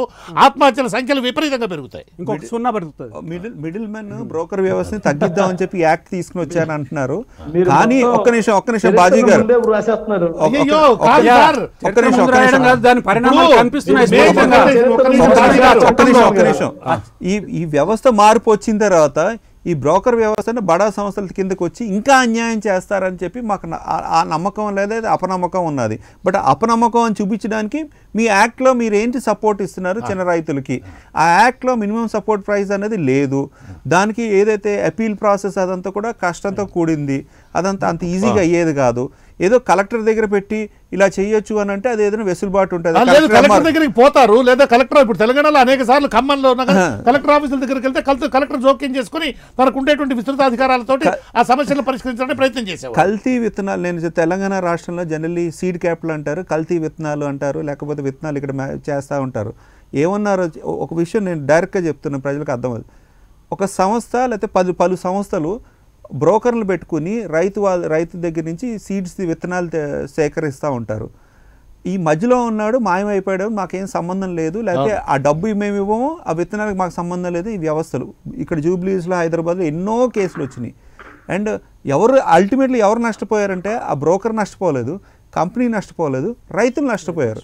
నేను రెండు మూడు సార్లు ప్రధానమైన ఏరియాస్లో హైదరాబాద్లో బస్సుల్లో వచ్చారు. ఎక్కడి నుంచి? కర్ణాటక నుంచి వచ్చారు. పక్కనున్న మహారాష్ట్ర రాష్ట్రాల నుంచి వచ్చారా? వీళ్ళందరూ ఏంటి సడన్గా ఇక్కడికి వచ్చారని అనుకుంటే అదొక విత్తన సంస్థ ఆఫీసు బయట. వాళ్ళు నాలుగు రోజులు మూడు రోజులు బయటే ఉన్నారు. ఏంటి అంటే ఇది గొడవ. అంటే ఇప్పుడున్న వ్యవస్థలోనే ప్రొటెక్షన్ లేదు. మన పోలీస్ వ్యవస్థ కానీ న్యాయ వ్యవస్థలో కానీ. ఇంకా ప్రైవేటీకరణ చేసినప్పుడు ఇంకా ఇంకా ఎంత ప్రొటెక్షన్ ఉండబోతుంది? ఉన్నటువంటి సిస్టమ్ని మీరు ఇంప్రూవైజ్ చేయాలి. ఇంప్ర- ఇంకా ప్రొటెక్షన్ ఇవ్వాలి మెరుగుపరచాలి. మెరుగుపరచాలి. అంటే మీరు మెరుగుపరచడానికి బదులుగా ఉన్నటువంటి ఆల్రెడీ ఏపీఎంసీ ఏవైతే ఉన్న అగ్రికల్చర్ మార్కెటింగ్ ప్రొడక్ట్ ఆ వ్యవస్థ నాశనం అయిపోతుంది. ఆ వ్యవస్థ నాశనం దీంతో రిపీల్ చేశారండి అది. ఆ, నిత్యావసర చట్టం పోతుంది. నిత్యావసర చట్టం పోయింది. వా- వాళ్ళు అనేది తమాషగా బీజేపీ నాయకులు చాలా చోట్ల చెప్పేటువంటి. ప్లీజ్ ఒక విషయం. Input cost plus labour cost తర్వాత ఫిఫ్టీ పర్సెంట్ మోర్ టు ఇది స్వామినాథన్ స్వామినాథన్. కమిటీ చెప్పినటువంటిది. మీరు అది ఎక్కడైనా రిమోట్గానైనా దాన్ని ప్రతిబింబించారా ఈ చట్టంలో? లేదు కదా? మేనిఫెస్టోలో పెట్టుకుంటారండి. మేనిఫెస్టోలో పెట్టుకున్నారు.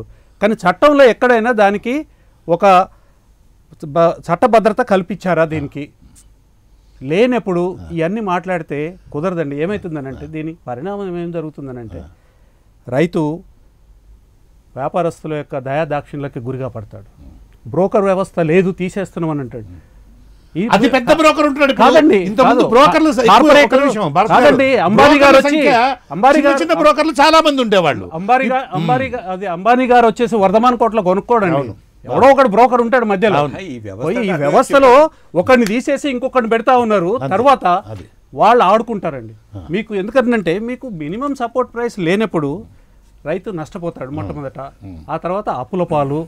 అప్పులైన తర్వాత చేయాల్సింది ఏంటండి చిన్న కమతాల రైతులు? అమ్ముకుంటాడు. అమ్ముకుంటాడు ఇది- వాడి- ఇది- వాడి- వాడి. వ్యవసాయ భూమిలో ఇది- కూలీ అవుతాడు. ఇది ఇది బీజేపీ ఉద్దేశం. రైతుల్ని భూమి నుంచి భేదం Eliminate చేసి. కార్పొరేట్స్ కా అప్పచెప్పాలి ఈ భూములు అనేది. కనిపిస్తుంది స్పష్టంగా. కనిపిస్తా ఉంది. ఒకే ఒక మాట. చెప్తాను మీకు బాజీ గారు. ఇప్పుడు ఒక- ఒక్క నిమిషం. కహా కనీస మద్దతు ధర మీద చాలా దేశవ్యాప్తంగా చాలా తీవ్రమైనటువంటి ఇది వస్తుంది నిరసన వస్తుంది ఆగ్రహం వస్తుంది. కనీస మద్దతు ధర ప్రకటించడానికి రైతు కష్టపడి ఆరుగాలం కష్టపడి పండించి పండించి దానికి అవసరమైనటువంటి ఖర్చులన్నీ భరించినటువంటి దానికి ఇది వ్యవసాయక దేశం భారతదేశం అనేటువంటిది. కనీస మద్దతు ధరకు చట్టభద్రత కల్పించడానికి మీ పార్టీకి ఉన్న నొప్పేమిటి? అసలు ఎంఎస్పికి మేము వ్యతిరేకం అని చెప్పని మేము చెప్పట్లేదు మీరు ప్రచారం చేస్తున్నారు మీ మాటల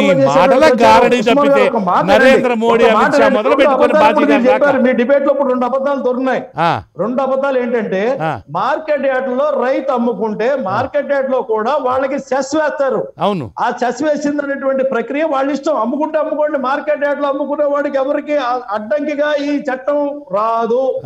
రెండవది తీసుకెళ్ళేటువంటి పంట తన ఇష్టం వచ్చిన దగ్గర. రెండోది ఇప్పుడు మీరు అన్నారు పది దళారులు కలిసి ఒక దళారి కింద మారి రైతు పొలంలో చచ్చిపోతాడని చెప్పని. రైతు తనకి ఇష్టమైన రేటుకి అగ్రిమెంట్ అయితేనే ఆ వ్యక్తితో కాంప్రమైజ్ అయ్యి జరిగేటువంటి వ్యాపారం అవుతుంది కానీ దళారి చేతిలో భూమిని కానీ దళారి చేతిలో పంటను పెట్టేటువంటి పరిస్థితి ఇంతకాలం మనం చూసాం కృష్ణమోహన్ గారు. మళ్ళీ ఇవాళ కొత్తగా అదే ఇప్పుడు ఇన్నాళ్ళ నుంచి సాధించినటువంటి మార్పు ఒకసారి మార్పు కోసం ప్రయత్నం చేస్తా ఉంటే ఎందుకు ఇంతగా అడ్డం పడాలని ప్రయత్నం చేస్తున్నారో అర్థం బాజీ గారు కావట్లేదు బాగుంది చాలా గొప్పగా చెప్పారు. ఒక్క నిమిషం. మార్పు కావాలి. మార్పు మెరుగు పరిస్థితిని మెరుగుపరచాలి తప్ప మార్పు మరింత హీనమైన స్థితిలోకి? వెళ్ళనివ్వకూడదు అది మార్పుని? ఎందుకు అంటున్నామంటే మేమందరం? మేము ఏమన్నారు మీరు అప్పుడే ఎలా చెప్తారు కృష్ణమోహన్ గారు కళ్ళ ముందు జరుగుతున్నటువంటి చూపిస్తుంటే ఇంతకు మునుపు ఉన్న ప్రొటెక్షన్ ఇప్పుడు లేకపోవడం మూలంగా. అదే అంతకన్నా గొప్ప విషయం ఏం కావాలండి ఇంకా అంతకన్నా ఏం మార్పు- కావాలి? మార్పు అనేది తిరోగమనంగా తిరోగమనంగా దిశగా ఉన్నది తప్ప పురోగమన దిశగా లేదు కదా. ఒక్క నిమిషం బాజీ గారు నేను ఒక్క గ్రౌండ్ ఒక్క నిమిషం ఒక్క నిమిషం ఒక్క నిమిషం బాజీ గారు ఒక్క ఒక్క నిమిషం. నిమిషం. చట్- ఆయన మా చట్టం శ్రీధర్ గారు పరిధిలోకి మాట్లాడారు. వచ్చింది. ఒక్క నిమిషం మోహన్ గారు. ఇప్పుడు కాటన్ ఉంటున్నదండి. మోహన్ గారు. ఒక్క నిమిషం మధు గారు. పెద్ద మనిషి కదా ఒక్క నిమిషం brother. ఆయన ఆ, మధు గారు చెప్పండి. మార్పు మార్పు ఏమీ చూడకుండా మార్పు బాజీ అంటున్నాడు. మేము మార్పు చేస్తుంటే అప్పుడే ఎలా చెప్తారని. అవును. వారు చేసిన మార్పు ఏమిటి అంటే ఒకే దేశం ఒకే మార్కెట్ ఇది మార్పు వాళ్ళు చేస్తున్న మార్పు అవును. అంటే రైతులు వాళ్ళ ఊళ్ళల్లో కాకుండా వాళ్ళు దేశంలో ఎక్కడైనా అమ్ముకోవచ్చు అని చెప్పేసి చెప్తున్నారు. అంటే విజయవాడ పక్కన మంగళగిరి పరిసర ప్రాంతాల్లో ఉత్పత్తి అయినటువంటి పంటలు పండించినటువంటి రైతులు తీసుకుపోయి హైదరాబాదులో మద్రాసులో ఢిల్లీలో అమ్ముకోవాలని వాళ్ళు కోరుతున్నారు. మద్రాసులో ఢిల్లీలో మా పక్కన ఎక్కడో ఒక ఊర్లో మంగళగిరి దగ్గర పండినటువంటి పంటని రైతు ఒక బండిలో వేసుకొని మద్రాసు దాకా పోయి- రైతు రెండు ఎకరాల్లో పండినటువంటి మద్రాసులో అమ్ముకోవడం సాధ్యం కాదు. కార్పొరేట్లు మాత్రమే కొని అమ్మగలవు. కార్పొరేట్లు అట్ట కొని అమ్మే పని అయితే అవి పెద్ద ఎత్తున బ్లాక్ మార్కెట్ సృష్టించి రైతులకు అందుబాటు ప్రజలకు అందుబాటులో లేకుండా చేస్తాయి నిత్యావసర వస్తువులు. ఖచ్చితం అది. కాబట్టి అలాంటి దానికి అవకాశం వస్తున్నా, దేశానికి స్వాతంత్రం వచ్చినప్పుడు మనం నిబంధనలు పెట్టుకున్నాం. ఇప్పుడు ఆ నిబంధనలు ఇప్పుడు వీళ్ళు ఎత్తేస్తున్నారు. వీళ్ళు ఎత్తేసే స్వేచ్ఛ ఇస్తున్నారు. ఎవరికి స్వేచ్ఛ? ఒక జోగిపేట వాడు ఒక జగిత్యాల వాడు. వాడి ప్రోడక్ట్ తీసుకొని ఢిల్లీలోనో. కలకత్తాలోనో? అమ్ముకోలేడు రైతు అసలు వాడికి అసలు అసలు అమ్మగలిగే శక్తి ఉంటుంది రైతుకి వాడు రైతు పండించగలిగే శక్తే ఉంటుంది తప్ప అమ్ముకునే. మొక్కజొన్న బీహార్లో బీహార్లో మొక్కజొన్న పండించిన రైతుకి పదకొండు వందలా. అదే తెలంగాణలో మొక్కజొన్న పండిస్తే పద్దెనిమిది అవును ఏమిటి వీళ్ళు చెప్పేది తెలంగాణలో తెలంగాణలో ఇటు ప్రభుత్వ మార్కెటింగ్ వ్యవస్థ అది ప్రైవేట్ వ్యవస్థ రెండు ఉన్నాయి ఇక్కడ. అక్కడ ప్రభుత్వ మార్కెట్ని ఎత్తేసారు అవును. అవును. అందుకని ప్రైవేటు మార్కెట్ ఉన్న దగ్గర వీళ్ళు బ్లాక్ మార్కెట్ ప్రతినిధులు వీళ్ళు. బీజేపీ వాళ్ళు. బ్లాక్ మార్కెట్ని ప్రోత్సహించేవాళ్ళు. ఆ రకమైనటువంటి దొంగ వ్యాపారానికి రిలయన్స్ వాడు దొంగ వ్యాపారం చేసి ముప్పై ఒక్క శాతం దేశం అంతా ప్రజలందరికీ ఆదాయాలు పడిపోతే రిలయన్స్ వాడికి ముప్పై ఒక్క శాతం ఆదాయాలు వచ్చినాయి ఈ సంవత్సరం. రిలయన్స్ ఫ్రెష్కే వాడు పోయిన సంవత్సరం రిలయన్స్ ఫ్రెష్ పెడితే రెండు వేల పంతొమ్మిది మా రెండు వేల ఇరవై మార్చి నాటికి ఒక్క సంవత్సరంలో లక్షా నలభై ఐదు వేల కోట్ల రూపాయల వ్యాపారం రిలయన్స్ ఫ్రెష్ రీటైల్ వర్తకం. ఈ వ్యవసాయ ఉత్పత్తులు ఇవన్నీ కలిపి ఉండేటువంటిది. దాంట్లో వాడు చేస్తే లక్షా నలభై ఐదు వేల కోట్ల రూపాయల వ్యాపారం చేస్తే ఐదు వేల రెండు వందల కోట్ల రూపాయలు లాభం ఒక్క సంవత్సరంలో వచ్చింది. వాడికేమో లాభాలా? మన జనానికేమో ఉన్న లాభాలు పంట పండించినటువంటి ఇరవై నాలుగు శాతం వృద్ధి రేటు పడిపోయింది. ప్రజల యొక్క వృద్ధి రేటు పడిపోద్ది కార్మికుల యొక్క ఆదాయాలు పడిపోతాయి రైతుల ఆదాయాలు పడిపోతున్నాయి. రైతుకి ధర రాదు వీళ్ళట స్వేచ్ఛట. ఎక్కడైనా రెండు రెండు. బూతు పదాలు ఉన్నాయి ఎంత మధు గారు మోసగాళ్ళు మీ- వీళ్ళు మీకు. దెబ్బతగిన వాళ్ళు కాదు కానీ. సమాజంలో ప్రస్తుతం రెండు బూతు పదాలు ఉన్నాయి స్వేచ్ఛ రెండు జిఎస్టి. జి జిఎస్టి తీసుకొచ్చి ఒకే దేశం ఒకే పన్ను అన్నారు. మన రాష్ట్రంలో దళితులు గిరిజనులు పేదలు వాళ్ళకి కొన్ని రాయితీలు ఇచ్చేదానికి మనకు అంతకుముందు అవకాశం ఉండేది పన్ను రాయితీలు. చిన్న పేదవాడు ఇల్లు కట్టుకుంటుంటే వాడికి కొన్ని రాయితీలు ఇవ్వచ్చు. పేదవాళ్ళు అన్నం తినేదానికి కొన్ని రాయితీలు. మనం ఇంతకుముందు ఆకుకూరలకే పన్ను లేదు. ఇంతకుముందు పాల పాల మీద పన్ను లేదు. వీళ్ళు ఒకే దేశం ఒకే పన్ను అన్న తర్వాత ఈ జయలలిత అక్కడ ఆ అన్న క్యాంటీన్లు పెడితే వాటన్నిటికీ పన్ను రాయితీ ఉండేది. వీళ్ళు ఒకే జిఎస్టీ అన్న తర్వాత అవన్నీ ఎగిరిపోయినాయి. రాష్ట్రాలకు హక్కులు లేవు. వీళ్ళ దగ్గరికి పోయి దాసోహం అని అనుకోవాల్సిన పరిస్థితి వచ్చింది. ఈ దాసోహం వల్లే ఈరోజు వైఎస్ఆర్ సిపి లోపాయికారిగా బీజేపీని బలపరుస్తూ ఉంది. ఈ దాసోహం లేకపోతే వీళ్ళకి వీళ్ళ సంగతి తేలిపోయింది ఇట్టాటి దాసోహం పరిస్థితుల్లో కూడా బంధు బ్రహ్మాండంగా జరిగింది. ఎవరైతే పార్లమెంటులో వీళ్ళ యొక్క ఒత్తిడులకి వీళ్ళ యొక్క ఇన్కమ్ ట్యాక్స్ రకరకాలైనటువంటి సిబిఐ వీళ్ళ యొక్క కేంద్ర సంస్థల్ని వినియోగించి వీళ్ళు ఎవరు ఒత్తిడి తీసుకొచ్చి ప్రాంతీయ పార్టీని లొంగ తీసుకుంటున్నారో అవి అలాంటి లొంగ తీసుకునేటువంటి చర్యలు ఉన్న నేపథ్యంలోనే పార్లమెంట్లో ఓటేసిన వాళ్ళే ఈరోజు బయటకు వచ్చి బంధుని బహిరంగంగా బలపరుస్తున్నారు. నేను నేను మళ్ళీ ఇంకోసారి మధు గారు మళ్ళీ ఇంకోసారి నేను క్లియర్ చేస్తున్నానండి. పార్లమెంట్లో లోక్సభలో వాళ్ళు రిక్వెస్ట్ చేస్తే మేము సపోర్ట్ చేయడం జరిగింది. మేము ఆ రోజు అనుకున్నది ఏంటంటే లోక్సభకి. రాజ్యసభలో అలాగే సెలెక్ట్ కమిటీకి వెళ్తుంది కదా చర్చించి మార్పులు అవన్నీ సజెస్ట్ చేద్దాం అనుకున్నాం బట్ బ- అక్కడ కూడా బలంగా అక్కడ చేయడం జరిగింది. ఒకటి. రెండో అంశం నేను లేవనెత్తిన అంశాలు ఈరోజు వైఎస్ఆర్సీపీ ఎందుకు సపోర్ట్ చేస్తుంది రైతులకి అని అంటే ప్రధానంగా మీరు చూడండి కమర్షియల్ క్రాప్స్ టొబాకో తీసుకోండి. మార్కెట్ యార్డ్లో ఎక్కడైతే టొబాకో పర్చేసింగ్ ఆఫీసర్స్ అదంతా ఉంటారు ప్రైవేట్ వ్యక్తులు ఉంటారు వివిధ సంస్థలు ఉంటారు. టొబాకోలో length important colour important humidity అంటే మాయిశ్చర్ కంటెంట్ ఇంపార్టెంట్ మీటర్ లేకుండా కొను కొనుక్కుంటూ ఉంటారు ఇది పెద్ద ఆ రేట్ అంటే ఈ రేట్ అంటారు. రెండో అంశం కాటన్. ఉభయ తెలుగు రాష్ట్రాల్లో కాటన్ బాగా ఎక్కువ పండుతుంది. దాంట్లో కూడా స్టేపుల్ లెంత్ హ్యూమిడిటీ తేమ శాతం ఉంటుంది రంగు ఉంటుంది డిస్కలరేషన్ ఉంటుంది. దాంట్లో కూడా అక్కడ మీటర్లు కానీ వ్యవస్థ కానీ ఏమి ఉండదు. ఉజ్జాయింపుని చూసి అమ్ముతారు కొంటా ఉంట కొంటా జరుగుతూ ఉంటారు. అది అన్యాయం ఎప్పుడు కూడా రైతుకే జరుగుతుంది. అదేవిధంగా మిర్చి తీసుకోండి. మిర్చిలో కూడా హ్యూమిడిటీ శాతం తేమ శాతం కలర్. ఈ కలర్ వ్యత్యాసాల బట్టి ప్రైస్ మారుతూ ఉంటుంది. అంటే కమర్షియల్ క్రాప్స్లోనే ఇంత వ్యత్యాసం ఉండి అయినా రైతులు నష్టపోతూ ఉంటే ఈ బేసిక్ ఏవైతే మినిమం సపోర్ట్ ప్రైస్ ఏవైతే కమోడిటీస్ ఉన్నాయో రైస్ కానీ వీటి కానీ ఇంక మిల్లెట్స్ కానీ ఇవన్నీ కూడా ఏదైతే గవర్నమెంట్ సపోర్ట్ చేస్తున్నదో దానికి ఆ సపోర్ట్ లేకపోతే ఇంకెంత అన్యాయం అయిపోతాం అనేది మాకు భయం ఉన్నది.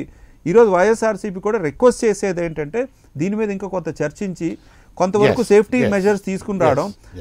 ఏదైతే ఫార్మర్స్ ప్రొడ్యూసర్స్ ఆర్గనైజేషన్స్ ఏదైతే బలంగా మన భారతదేశంలో ఎక్కువ వచ్చినా కోల్డ్ స్టోరేజ్లు ప్రభుత్వ వ్యవస్థలు ఎక్కువ వచ్చినా state wearing warehouse corporations ఉన్నాయి సెంట్రల్ వేర్ హౌస్ కార్పొరేషన్స్ ఉన్నాయి దాన్ని కూడా నెంబర్ ఇంక్రీజ్ చేస్తే అప్పుడు ప్రైవేట్ వ్యవస్థలు మీరు అన్న విధంగా ఏదైతే నరేంద్ర మోడీ గారు ఏవైతే యాక్ట్లు తీసుకుని వచ్చి బీజేపీ కోరుకుంటున్నాదో జగిత్యాల నుంచి అమలాపురం నుంచి అనకాపల్లి దగ్గర నుంచి కూడా వేరే రాష్ట్రం కానీ వేరే దేశానికి మీరు కోరుకునేది ఏంటి బీహార్లో కూడా పద్దెనిమిది వందలు రావాలని కోరుకుంటున్నారు.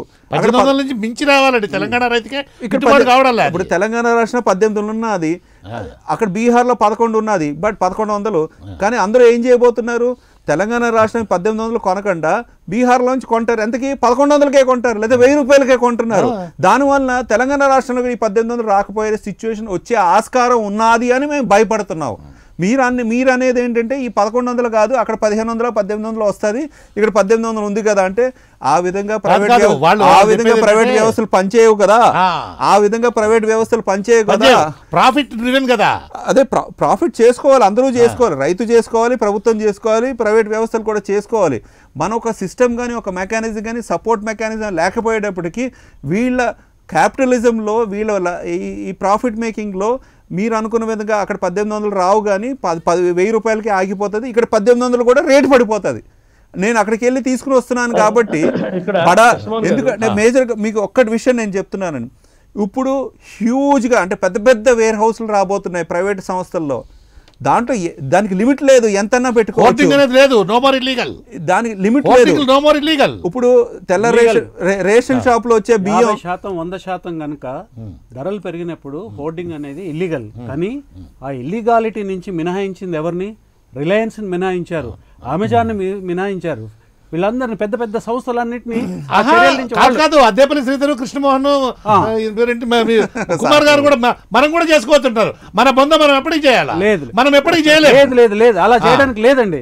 ఫిఫ్టీ పర్సెంట్ నుంచి హండ్రెడ్ పర్సెంట్ వరకు కనుక ప్రైస్ రైజ్. ఉంటే. అప్పుడు ఏంటంటే EC act essential commodities act invoke చేయొచ్చు. కానీ అట్లా ఇన్వోక్ చేసే పరిస్థితి ఉన్నప్పుడు కూడా ఈ పెద్ద సంస్థల మీద మీరు ఇన్వోక్ చేయడానికి లేదని గతంలో ఎప్పుడైనా చేశారా? చట్టంలో ఇచ్చారండి. కొత్త చట్టంలో ఆ కొత్త చట్టంలో వాళ్ళకి మినహాయింపు ఇచ్చారు అట్లాంటప్పుడు మీరు ఏ ఎవరిని ఉద్ధరించడానికి చేసినట్టు? ఎలా కంట్రోల్ ఎలా కంట్రోల్ అవుతుంది? ఎవరిని ఉద్ధరించడానికి చేసినట్టు? దయచేసి మీకు- మీకు ఇబ్బంది కలిగించేదైనా నేను ఒక చిన్న ఉదాహరణ. రేషన్ మీకు మీకు ఇబ్బంది కలిగించే. ఎందుకు వేరే లేవా ఇంకా? లే లే, లే చ- అయినా కూడా మొన్న కరోనా వచ్చినప్పుడు ఇంతటి తీవ్ర స్థాయిలో జనం అందరూ కూడా చచ్చిపోతూ ఉన్నప్పుడు మన కార్పొరేట్ హాస్పిటల్స్ హైదరాబాద్లో హాస్పిటల్స్ ఆంధ్రప్రదేశ్లో చాలా తక్కువ ఉన్నాయి. హైదరాబాద్లోనే ఎక్కువ అత్యధిక సంఖ్యలో హాస్పిటల్స్ ఉన్నాయి. హాస్పిటల్స్ తెగబడి ఐదు లక్షలు పది లక్షలు ముందు టెస్ట్ చేయాలంటే డబ్బులు కడితే కానీ టెస్ట్ చేయనటువంటి పరిస్థితిని మనం చూసాం. మీరు కాసేపు టీఆర్ఎస్ అనేటువంటి విషయం ఒక క్షణం మర్చిపోండి. ఆ విధమైనటువంటి కార్పొరేట్ సంస్కృతిని అనేటువంటి దాన్ని మనం చూసాం. ఎస్ కార్పొరేట్ దానికి భిన్నమైన పరిస్థితి ఉంటది? అనేది మనం ఎడ్యుకేషనల్ ఇన్స్టిట్యూషన్స్ చూడండి సార్. అవును. ఆ చైనా అని అంటూ ఉన్నాయి. అటు చైతన్య చైతన్య నారాయణ చైతన్య నారాయణ. లక్షల రూపాయల ఫీజులు చేసి చివరికి గవర్నమెంట్ స్కూళ్ళన్నీ కూడా మూతపడిపోయేటువంటి పరిస్థితి. గవర్నమెంట్ కూడా తన బాధ్యత నుంచి తప్పించుకున్నటువంటి పరిస్థితిని మనం గమనిస్తూ ఉంటాం. బాజీ గారు. సార్ ఒకటి రెండో మార్కెట్లోకి వెళ్ళిన తర్వాత ఉండదు అని చెప్పిన విధానానికి మేము ఆంధ్రప్రదేశ్లో కృష్ణా జిల్లా నుంచి మాది మామిడి ఎగుమతి బాగా ప్రాచుర్యం ఉన్నటువంటి ప్ర- ప్ర- ప్రదేశం. మామిడి మేము ఎక్కడ తీసుకెళ్తాం? హైదరాబాద్ తీసుకెళ్తాం. అక్కడ నుంచి అక్కడ తీసుకెళ్తాం ఢిల్లీకి తీసుకెళ్తాం అహ్మదాబాద్ తీసుకెళ్తాం గుజరాత్ తీసుకెళ్తాం. అనేక ప్రాంతాలకు ఇక్కడ ఉన్నటువంటి రైతు తీసుకెళ్తాడు. మార్కెట్లో ఎక్కడ బాగుందనుకుంటే అక్కడ తోలుకునేటువంటి అవకాశం ఇప్పటికీ నడుస్తుంది. ఆంధ్రప్రదేశ్లో పండినటువంటి చేపలు ఏవైతే ఉన్నాయో ఒరిస్సాలో ఉన్నట్టు చిలుగుడికి కలకత్తా నుండి బెంగాల్కి తీసుకెళ్ళేటువంటి పరిస్థితి కూడా నడుస్తా ఉన్నటువంటి వైనం. అదేవిధంగా బెంగాల్ ఉన్నటువంటి బంగాళదుంప ఇక్కడ కొనుక్కుంటున్నాం మేము. కాలీఫ్లవర్ కొనుక్కుంటున్నాం. టమాటాలు రాయలసీమలో పండితే అక్కడ బుట్ట టమాటాలు వంద రూపాయలు కొనే దిక్కు లేకపోతే విజయవాడలో కిలో నలభై రూపాయలు కొనేటువంటి పరిస్థితి అవుతుంది. మా బాధల్లో ఏంటంటే వంద రూపాయల వస్తువులో రైతు పండించిన దానికి వచ్చేది పాతిక రూపాయలు అయితే మిగతా అరవై డెబ్బై రూపాయలు వచ్చి దాదాపుగా దళారికి పోతుందనేటువంటి బాధతో ఈ చట్టాన్ని తీసుకొచ్చి రైతుకి కొనుగోలుదారుడికి రైతుకు అమ్మకందారుడికి మధ్యలో దళారు లేకుండా వ్యవస్థను చేయాలనేటువంటి ఒక చట్టాన్ని ఆలోచన చేయడం జరిగింది కృష్ణమోహన్ గారు. చాలా చాలా చాలా అని బాగుంది బాజీ గారు. ఆలోచన చాలా బాగుంది. కానీ ఆచరణలోకి వచ్చినప్పుడు ఏం జరిగిందో చెప్పండి. ఆలోచన. చూడండి. కుష్మార్ ఆ, గారు వేచి చూడాల్సినటువంటి బాధ్యత అంటే వేరేది కాదు. వేచి చూడాల్సినటువంటి బాధ్యత కాదు, ఉంది. ముందే జరిగిద్దని విధ్వంసం చేశారు కదా. సృష్టించేటువంటి ప్రయత్నాలు చేయటం అనేది దేశానికి శ్రేయస్కరం కాదు. ఇంత మురిపే ఉన్న నష్టం జరిగి ఉంటే ఆ నష్టాన్ని ఉదాహరణ చూపించండి. డెబ్బై ఏళ్ళ పాటు బాగు చేయడానికి సిద్ధమైతే అడ్డుకునేది కూడా బీహార్ ఉదాహరణ ఇక్కడ. ముగ్గురు ముగ్గురు ప్యానలిస్టులు బీహార్ ఉదాహరణగా చూపిస్తున్నారు. స్పష్టంగా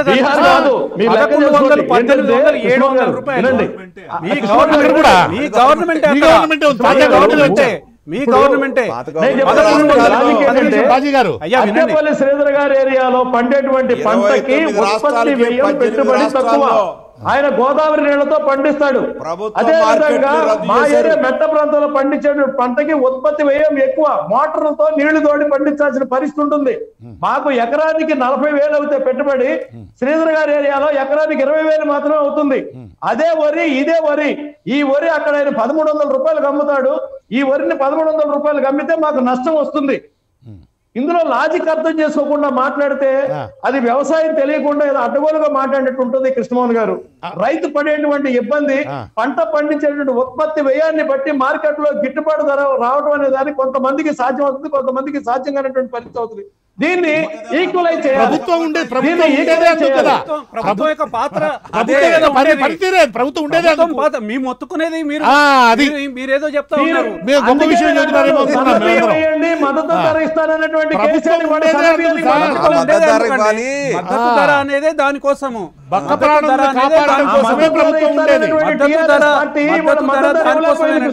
పక్కన కూర్చోబెట్టుకొని మీరు చెప్పలేకపోతున్నారు. అడగండి డైరెక్ట్గా మద్దతు ధర ఇచ్చారు. అడగండి. మేము ఇచ్చ- మేము మీరు ఇచ్చేదానికి అడగండి. ప్రయత్నం చేస్తే మీరు కదా అడ్డుపడింది మేము మీరు మీరు పద్దెనిమిది వందలు తీసుకుంటారంటే యాభై రూపాయలు మేము ఆదాయ ఎక్కిస్తా మధ్య ఉన్నాం కూడా Correct. ఇచ్చారా మీరు తీసుకొని ఇచ్చారా మీరు మీరు కదా తాకీదులు ఇచ్చింది ఆయన- ఆయన అయ్యా, వినండి. మీరు బాజీ మీరు గారు, తాకీదులు ఇచ్చింది బాజీ గారు ఒక్క నిమిషం మీరు అయ్యా, చెప్పండి మేము మీరు పద్దెనిమిది వందల కన్నా ఒక్క నాయా పైసా ఎక్కువ పెట్టినా కానీ ఎఫ్సిఐ ఇక్కడ నుంచి ప్రొక్యూర్మెంట్ ఆఫ్ చేస్తామని చెప్పారు. మీరు యాభై రూపాయలు ఇస్తామని చెప్పారు. దానికి ఆగండి ఆగండి దానికి? మాత్రమే రెస్పాండ్ కండి బాజీ గారు వేరే విషయం ఆగండి ఆగండి. వేరే విషయం మాట్లాడకండి. దానికి మీరు సన్న బియ్యం అడిగారు. సన్న బియ్యానికి కుమార్ గారు సమాధానం చెప్పారు. దానికి రెస్పాండ్ కండి ఇది ఇది మీరు తెలంగాణలో ఏ రాజకీయ పార్టీలైనా ఒక టీఆర్ఎస్ కాకుండా ఎవరితోనైనా ఓకే అనిపించండి చూద్దాం. అక్కడ ఉన్నారు కదా మధు గారు ఉన్నారు. అక్కడ మధు గారు ఉన్నారు మధు గారు. ఇక్కడ ఇక్కడ శ్రీధర్ గారు ఉన్నారు. నేను ఇందాక ఓపెన్ గానే చెప్పాను నేను నాలుగు సార్లు చదివాను ఆ లెటర్ నిజమా కాదా అన్నది. సీఎం కేసీఆర్ గారు చెప్పేది నిజమా కాదా అని నేను నాలుగు సార్లు ఆలోచించాను. ఎందుకంటే సెంట్రల్ గవర్నమెంట్ ఈ విధంగా లెటర్ రాయొచ్చా? రాసిందా అంటే ఒక డౌట్ వచ్చింది. తప్పది. పాలసీ ప్రకారంగా తప్పు. మార్పులు జరగాల పాలసీ ప్రకారంగా. గారు ఆగండి. మధు గారు కృష్ణమోహన్ గారు. చెప్పండి. కృష్ణా జిల్లాలో పండినటువంటి పంటని మా వీళ్ళు ఒకే దేశం ఒకే మార్కెట్ అంటున్నారు. ఈ ఒకే దేశం ఒకే మార్కెట్ అనే సిద్ధాంతం కింద మన మంగళగిరి దగ్గర పండిన పంటల్ని వీళ్ళు హైదరాబాద్కో ఢిల్లీకో తీసుకెళ్ళి అమ్ముతారా? రైతు అమ్ముకోగలడా? రిలయన్స్ వాడు అమ్ముకోగలుగుతాడు. నేను చెప్తున్నా బాజీని చెప్పమనండి. ఇదిగో ఈ రకంగా రైతులు అమ్ముకోగలుగుతారని చెప్పి చెప్పమనండి. అప్పుడు నిజాయితీగా చర్చల్లో పాల్గొన్నట్టు ఉంటుంది లేకపోతే బుకాయించడమే. మా గ్రామాల్లో నూతక్ అనేటువంటి గ్రామంలో అరటికాయలు పండితే పసుపు పండితే లేదా ధాన్యం పండితే దీన్ని ఇక్కడ నూతక్కులో కొని ఈ నూతక్కులో ఉన్నటువంటి దాన్ని ఎవరు కొంటున్నారు రైతులు తీసుకుపోయి మద్రాసులో అమ్మగలరా? హైదరాబాద్లో అమ్మగలరా? ఢిల్లీలో అమ్మగలరా? వీళ్ళు చెప్పే ఒకే మార్కెట్ ఒకే దేశం అనేటువంటి సిద్ధాంతం ప్రకారం అయితే రైతు అమ్ముకోవాలా లారీ కట్టుకొని వాడికి పనులు మానేసి- రెండు టన్నులో పనులు పది- మానేసి. పది టన్నులు ఉండే లారీ అమ్మగలడా చిన్న-. అందుకని కొద్దిపాటి. బీజేపీ. బుకాయింపు రాజకీయాలు. ఈ కనీసమైన నిజాయితీ లేదు. నిజాయితీ ఉంటే ఒకే దేశం. ఒకే ఒకే దేశం ఒకే మార్కెట్ ఈ సిద్ధాంతాన్ని ఎట్టా అమలు జరుపుతారో చెప్పాలి ఇప్పుడు. ఒకే మార్కెట్ అని పెట్టారు. దీంట్లో నేను చెప్పాను. దీంట్లో. అందుకని చట్టంలో అంతేకాదు. బ్లాక్ మార్కెట్ వీళ్ళు ప్రోత్సహిస్తున్నారు. వీళ్ళు బ్లాక్ మార్కెట్ కార్పొరేట్ కంపెనీలు ఎంత పడితే అంత నిల్వ చేయకూడదు అనేటువంటిది మనకు ఇప్పుడు ఇప్పుడు దాకా ఉన్న. నిబంధన. అవును. ఇప్పుడు ఎంతైనా కార్పొరేట్ రిలయన్స్ వాడు కొని నిల్వ చేయొచ్చు అనేటువంటిది చట్టంలో పొందుపరిచారు. ఇది ఏ రకంగా రైతులకు ఉపయోగం? ఏ రకంగా వినియోగదారులకు ఉపయోగం? వీళ్ళు వీళ్ళు వీళ్ళు కోటేశ్వర్లకి కొమ్ము కాస్తారు. వీళ్ళు రిలయన్స్కి ఏజెంట్ వీళ్ళు అదానికి ఏజెంట్ వీళ్ళు. వాళ్ళ లాభాల కోసం వీళ్ళు ఈ దేశాన్ని తాకట్టు కాకుండా వీళ్ళకి దేశభక్తి లేదు. ప్రజల భక్తి లేదు. ఓకే. బాజీ గారు చెప్పండి. ఇప్పుడు తప్పలేదు. ఎందుకంటే ఉగ్గుపాలతో నేర్చుకున్నటువంటి అరుపులు అయ్యి దాన్ని ఏం కాదనలేం కానీ. నేను ఒక మాట ఏం చెప్తానంటే చెప్పండి చెప్పండి. తెలంగాణలో పండినటువంటి పత్తి ఎక్స్పోర్ట్ అవుతుంది. ఆ, ఆంధ్రప్రదేశ్లో పండినటువంటి పచ్చిమిరకాయలు పక్క దేశాలకు ఎక్స్పోర్ట్ అవుతున్నాయి పక్క రాష్ట్రాలకు ఎక్స్పోర్ట్ అవుతున్నాయి. ఎవరు చేస్తున్నారు? అదే విధంగా ఎవరు చేస్తున్నారో చెప్పండి. ఎవరు చేస్తున్నారో చెప్పండి. ఎవరు చేస్తున్నారు? దళారీలు చేస్తున్నారు. ఆహా. రైతులు చేయడం లేదు కదా?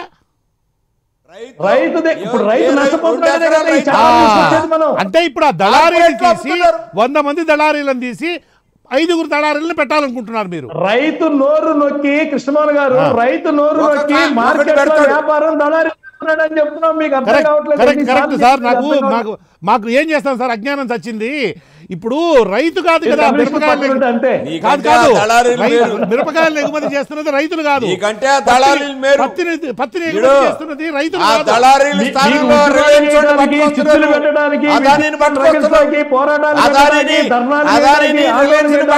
మీకు కాల్పించడానికి. మీకు సరిపోని వ్యవసాయం ఇప్పుడు లేదుగా ఆ. ఇవాళ కొనుగోలుదారుడు రైతు ఒకటే అవుతారు మీకు ఎక్కడ ఎక్కడ అసోసియేషన్లతో, ఎక్కడ సంఘాలతో కొనుగోలు పనులు లేదు మొదలు సార్ ఒకటిన్నర సంవత్సరం కిందట కిలో కందిపప్పు నూట అరవై రూపాయల నుంచి నూట ఎనభై రూపాయలు అయిపోయింది. దాదాపు మూడు నాలుగు నెలల పాటు. ఒక్క నిమిషం సార్. మీ. చట్టం మీ చట్టం ఒకటిన్నర సంవత్సరం క్రితం కిలో కందిపప్పు రెండు వందల రూపాయలు అమ్మితే రైతులు చేస్తే తెలంగాణ మిల్లులు నిండా నిండా దళారులు దాచిపెట్టినటువంటి కోల్డ్ స్టోరేజ్ దగ్గరే దొరికింది గుర్తుపెట్టుకోండి ఉల్లిపాయలు కానీ కందిపప్పు కానీ దళారీలు దాచినటువంటి కోల్డ్ స్టోరేజ్ దగ్గరే దొరికింది. ఇది మీ అబద్ధాల పరంపరలో ఇది ఒకటి మీరు మాట్లాడేది అబద్ధాలు దీంట్లో ఎక్కడన్నా ఇంత నిజం లేదు. అది ఇప్పుడు మీ చట్టం కాదని మీ చట్టం కనుక మీ చట్టం కనుక చాలా మంచిగా ఉండుంటే ఇవాళ లక్షలాది మంది రైతులు పది రోజుల పది రోజుల నుంచి రోడ్డు మీద ఎందుకు కూర్చున్నారు చెప్పండి. వాళ్ళు? ఎందుకు కూర్చున్నారు? వాళ్ళే- కూర్చుంటే. వాళ్ళు కూర్చుంటే సమాధానం చెప్పాల్సిన మినిమం సంస్కృతి కాదండి మీది? మినిమం కదండి అది. మీ బాధ్యత కదా? మీరు బాధ్యత కదా అని అంటున్నాను. ఏం మాట్లాడతారండి ఏమైనా మాట్లాడితే దేశద్రోహులు అంటారు? ఏమైనా మాట మాట్లాడితే కమ్యూనిస్టులు. అంటారు? ఏమైనా మాట్లాడితే చైనా. అంటారు? అయ్యా చైనా నుంచి ఎవరు తెచ్చుకోవాలండి? ఎందుకు తెచ్చుకోవాలండి? ఏడు సంవత్సరాలు అయితే ఉంది. కొంచెం అన్న ఇది ఉండాలి. ఏడు సంవత్సరాలలో మీరు మ్యానుఫ్యాక్చరింగ్ ఇండస్ట్రీని ఎంత ఎంత ముందుకు తీసుకుపోయినారు చెప్పండి ఎక్కడ తీసుకుపోయినారు మేము Make in మ్యానుఫ్యాక్చరింగ్ India ఏ- చేయకపోగా- స్లోగన్లు చాలా ఘనంగా చెప్తారు. స్లోగన్లకి ఏమి డోకా లేదు. టీకా చాలా ఘనంగా చెప్తారు. చెప్పేదంతా ఒకటి చేసేదంతా ఇంకొకటి. హైదరాబాద్కి నరేంద్ర మోడీ గారు వచ్చి టీకా వ్యాక్సిన్ చూసుకొని వెళ్ళింది. అవునండి అవునండి. నరేంద్ర మోడీ గారు వచ్చి అవునండి. ఏ ఈ దేశంలో ఏ ప్రధానమంత్రి కూడా ఇంకొక రాష్ట్రానికి పోయేటప్పుడు ఆ ముఖ్యమంత్రి రావద్దని చెప్పినోడు లేడు. నరేంద్ర మోడీ గారు తప్ప. ఏందండి? వారు వచ్చి చూసుకుంటేనే ఇక్కడ టీకా మందు తయారవుతుంది. లేకపోతే టీకా మందు తయారు కాలే. వారే ఇక్కడ మొత్తం అంతా రీసెర్చ్ చేపించారు దగ్గరుండి. మాట్లాడతారండి ఇదంతా? మీ కుటుంబాన్ని కాపాడుకునే పని చూసుకోండి. భరత్ గారు. అయ్యా ఎందుకో? బెదిరిస్తున్నారా? అయ్యా తర్వాత భరత్ గారు. బెదిరిస్తున్నారా? ఆగండి, ఆగండి, ఆగండి. అయ్యా. అయ్యా ఆగండి. ఆగండి ఆగండి తర్వాత మీ నా- మీ నాయకుడు కేటీఆర్ ఉండేసి ఇది బంద్ భారత్ బంద్ అనేది ఆరంభం మాత్రమే అని అంటూ అన్నాడు. తప్పనిసరిగా అండి ఇది. ఏంటి ఇప్పుడు? రైతులకు సంబంధించి రైతులకి అన్యాయం చేసే ఈ చట్టాలు పోయేంత వరకు కూడా ఈ భారత్ బంద్ అనేది ఆరంభమే. అది పోయేదాకా కూడా ఆందోళన అనేది జరుగుతుంది. తప్పనిసరిగా జరుగుతుంది. ఇది ఒకళ్ళు చేస్తున్నారండి. ప్రతి రాష్ట్రంలో లేసారు జనాలు. ప్రతి రాష్ట్రంలో రైతులు మాట్లాడుతూ ఉన్నారు. కానీ ఒక్కటి గమనిద్దాము. సరే బాజీ గారిని ఆ వాదనను పక్కన పెట్టండి. దక్షిణాది నుంచి అంత చైతన్యం ఎందుకని రైతుల్లో మనకు కనపట్టలేదు దక్షిణాదిలో ఇప్పటికీ మార్కెట్ వ్యవస్థ ఇంకా సహాయం చేస్తూ ఉంది రైతులకి. కొద్ది గొప్ప పటిష్టంగా ఇంకా పటిష్టంగా ఉన్నది. కొద్ది గొప్ప. పూర్తిగా కొంచెం భ్రష్టపట్టలేదు. పూర్తిగా ప్రతి- పటిష్టంగా ఉందండి. మీరు ఒక విషయం గమనించాలా? లేదండి కాదండి తమిళనాడు కేరళ కర్ణాటక మీరు ఎంఎస్పి ఏదైతే ఉందో. ఎంఎస్పి ఇంప్లిమెంట్ కానప్పుడు మీరు ఒకటి గమనిస్తున్నారు అధికారుల కన్నా ఎక్కువ పొలిటికల్ ఎస్టాబ్లిష్మెంట్ ముందుకొచ్చి రైతులకి ఇర్రెస్పెక్టివ్ ఆఫ్ ద పార్టీస్ అది టీఆర్ఎస్ఏ కానివ్వండి తర్వాత ఎమ్మెల్యేలు కానివ్వండి మండల స్థాయి నాయకులు కానివ్వండి దాని ఇంప్లిమెంటేషన్ కోసం రోడ్ల మీదకి వస్తారు. ఇమీడియట్గా అడ్మినిస్ట్రేషన్ మీద ఒత్తిడి పెరుగుతుంది. ఆ వ్యవస్థ అంతా ఇక్కడ ఉన్నది కాబట్టి ఇమ్మీడియట్గా అంత థ్రెట్ ఫీల్ అవ్వట్లేదు. కానీ అన్యాయం జరిగేది జరుగుతుంది. ఎందుకంటే చట్టం అన్నిటికన్నా గొప్పదండి. చట్టం చాలా బలమైనది. చట్టం ఇంప్లిమెంటేషన్లో ప్రతి ఒక్కళ్ళు కొట్టుకుపోవాల్సిందే కదా. నేను ఇద్దరు ముగ్గురితో మాట్లాడాను. ఎవరైతే ఆ, ఎడ్యుకేషన్ నాకు ఈ ఆన్సర్ అదే క్వశ్చన్ గురించే నేను అడిగాను. ఎందుకు సౌత్లో. ఆ, అదే కవిత కూర్గంటి అని చెప్పి ఈ లేడీ కూడా థర్టీన్ థర్టీన్ మెంబర్స్లో ఈ ఒక్క లేడీయే ఉన్నది. ఓకే. ఈవిడి ఆ థర్టీన్ మెంబర్స్ ఏదో రైతు సమన్వయ కమిటీలో ఆవిడ షీఈ్ Only woman. Member only woman All India Kisan Sangharsh Coordination Committee member ఈ అమిత్ షాతో కూడా ఈరోజు కూర్చున్నారు. వీరితోనూ ఇక ఇద్దరు ముగ్గురితో మాట్లాడితే అంటే మనం అనుకున్న విధంగా వారు చెప్పిన దానికన్నా కూడా వ్యత్యాసం ఏంటంటే bulk of the minimum support price protection Punjab Haryana అక్కడ ఎక్కువ ఉన్నదంట. ఒకటి. రెండోది బల్క్ బల్క్ ఏదైతే ప్రొడ్యూస్ చేస్తున్నారో రైతుల దగ్గర నుంచి అవన్నీ కూడా ఈ మార్కెట్ యార్డ్స్ ద్వారానే సేల్ అవుతుందంట. బట్ సౌత్ ఇండియాలో రాష్ట్రాల్లో ఆ విధంగా మార్కెట్ యార్డుల ద్వారా ఎక్కువ ఎక్కువ. వ్యవసాయ ఉత్పత్తులు ఫిఫ్టీ సిక్స్టీ సెవెంటీ పర్సెంట్ దాకా మొత్తం అంతా మార్కెట్ యార్డ్ ద్వారానే వెళ్తాదంట. సేఫ్గా ఉన్నారు కొంచెం. ఒకటి. రెండోది ఏంటంటే అక్కడ కమిషన్ కూడా హయ్యర్ పర్సంటేజ్ ఉన్నది. కమిషన్ కూడా. అండ్ ఆ కమిషన్ ఏజెంట్స్ కానీ కమి ఆ వ్యవస్థను నడిపించే వాళ్ళందరూ రాజకీయంలో ఉన్నారు. అది అందులో డౌట్ లేదు. వాళ్ళందరూ దేర్ సింపథెటిక్స్ ఏదో ఒక పార్టీకి సింపథైజర్స్ ఉన్నారు. సరే శిరోమణి అకాలీదల్లా కాంగ్రెస్ అన్నది వేరే ఈ సౌత్ ఇండియన్ రాష్ట్రాలు ఉభయ తెలుగు రాష్ట్రాలకు వచ్చేటప్పటికి మన మార్కెటింగ్ వ్యవస్థ వారన్న విధంగా బలిష్టంగా అంటే బలోపేతంగా బలిష్టంగా లేదు. మన పటిష్టంగా లేదు మంది. బట్ ప్రైవేట్గా కూడా మనం యాక్టివిటీస్ చేసుకోగలుగుతున్నాం. మనం ఇప్పుడు ఒక ఒక ఇప్పుడు మీరు ఇందాక వారు ప్యారలల్గా ప్యారలల్గా ఇప్పుడు ఇందాక బాజీ గారు ఏమన్నారు? మిర్చి యార్డ్లోకి వచ్చేది మనం ఇతర రాష్ట్రాలకి ఇతర దేశాలకి అమ్ముతున్నాం కదా అంటే ఎస్ అలాగా అమ్ముతున్నాం బయట నుంచి కూడా అమ్ముతున్నాం. ఆల్రెడీ మార్కెట్ కాంపిటీషన్ అనేది ఉంది. ఆల్రెడీ ఇక్కడ కాంపిటీషన్ ఉంది. అదే టొబాకో కూడా వ్యవస్థ ద్వారా నడుస్తున్నది ప్రైవేట్ వ్యక్తుల ద్వారా కూడా నడుస్తుంది. టొబాకో కూడా. ఈ కమర్షియల్ క్రాప్స్ అన్ని ఆంధ్ర రాష్ట్రంలో తెలంగాణ రాష్ట్రం కాటన్ కూడా అంతే. కమర్షియల్ క్రాప్స్ అన్ని నడుస్తున్నాయి. ఇప్పుడు మన ప్యాడీకి వచ్చేటప్పటికి కొంత గవర్నమెంట్ మీద సపోర్ట్ ఉన్నది ఈ రోజు ఉభయ తెలుగు రాష్ట్రాలు మేజర్ ఆధారపడుతున్నాయి. ఆధారపడుతుంది. అంటే మనం అనేక కారణాల వలన ఈ ప్యాడీ కానీ రైస్ కానీ ఏదైతే నార్త్ ఇండియన్ రాష్ట్రాలు డిపెండ్ అవుతున్నదో బల్క్ క్వాంటిటీ ఏదైతే డిపెండ్ అవుతుందో ఈ మార్కెటింగ్ వ్యవస్థ అంత శాతం మన సౌత్ ఇండియన్ రాష్ట్రాలు డిపెండ్ అవ్వట్లేదు. parallel system ఉండడంతో. ప్యారల్ సిస్టమ్ ఉంది ఎక్స్పోర్ట్ కూడా ఉన్నది కాబట్టి. మిల్లింగ్ కూడా ఉన్నదండి. ఎక్స్పోర్ట్ కూడా మిల్లింగ్ ఉన్నది. ఎక్స్పోర్ట్ ఘనమైన మిల్లింగ్ ఉన్నది మన దగ్గర. కాబట్టి మనం బయట నుంచి ఇంపోర్ట్ చేసుకుంటాం వేరే రాష్ట్రాల నుంచి తెచ్చుకుంటాం మనం. కాబట్టి ఇక్కడ ఇన్ఫ్రాస్ట్రక్చర్ ఫెసిలిటీస్ ఉన్నాయి. మిల్లింగ్ చేసుకుని మనం ఎక్స్పోర్ట్ చేస్తున్నాం. అందుకనే కదా ఇప్పుడు కాకినాడ కానీ మచిలీపట్నం ఇవన్నీ కూడా అక్కడ తెల్ల రేషన్ రేషన్ షాప్లో బియ్యం కూడా పాలిష్ చేసి అమ్మేసి ఎక్స్పోర్ట్ చేసేస్తున్నారు మన వాళ్ళందరూ మరి ఉభయ తెలుగు రాష్ట్రాల్లో ఉన్న వ్యా- వ్యాపారవేత్తలందరూ అది కూడా చేసేస్తున్నారు. దాంట్లో తెల్ల రేషన్ కార్డ్ షాప్లో వచ్చేవి కూడా ఇటు పౌల్ట్రీ కానీ డైరీ కానీ.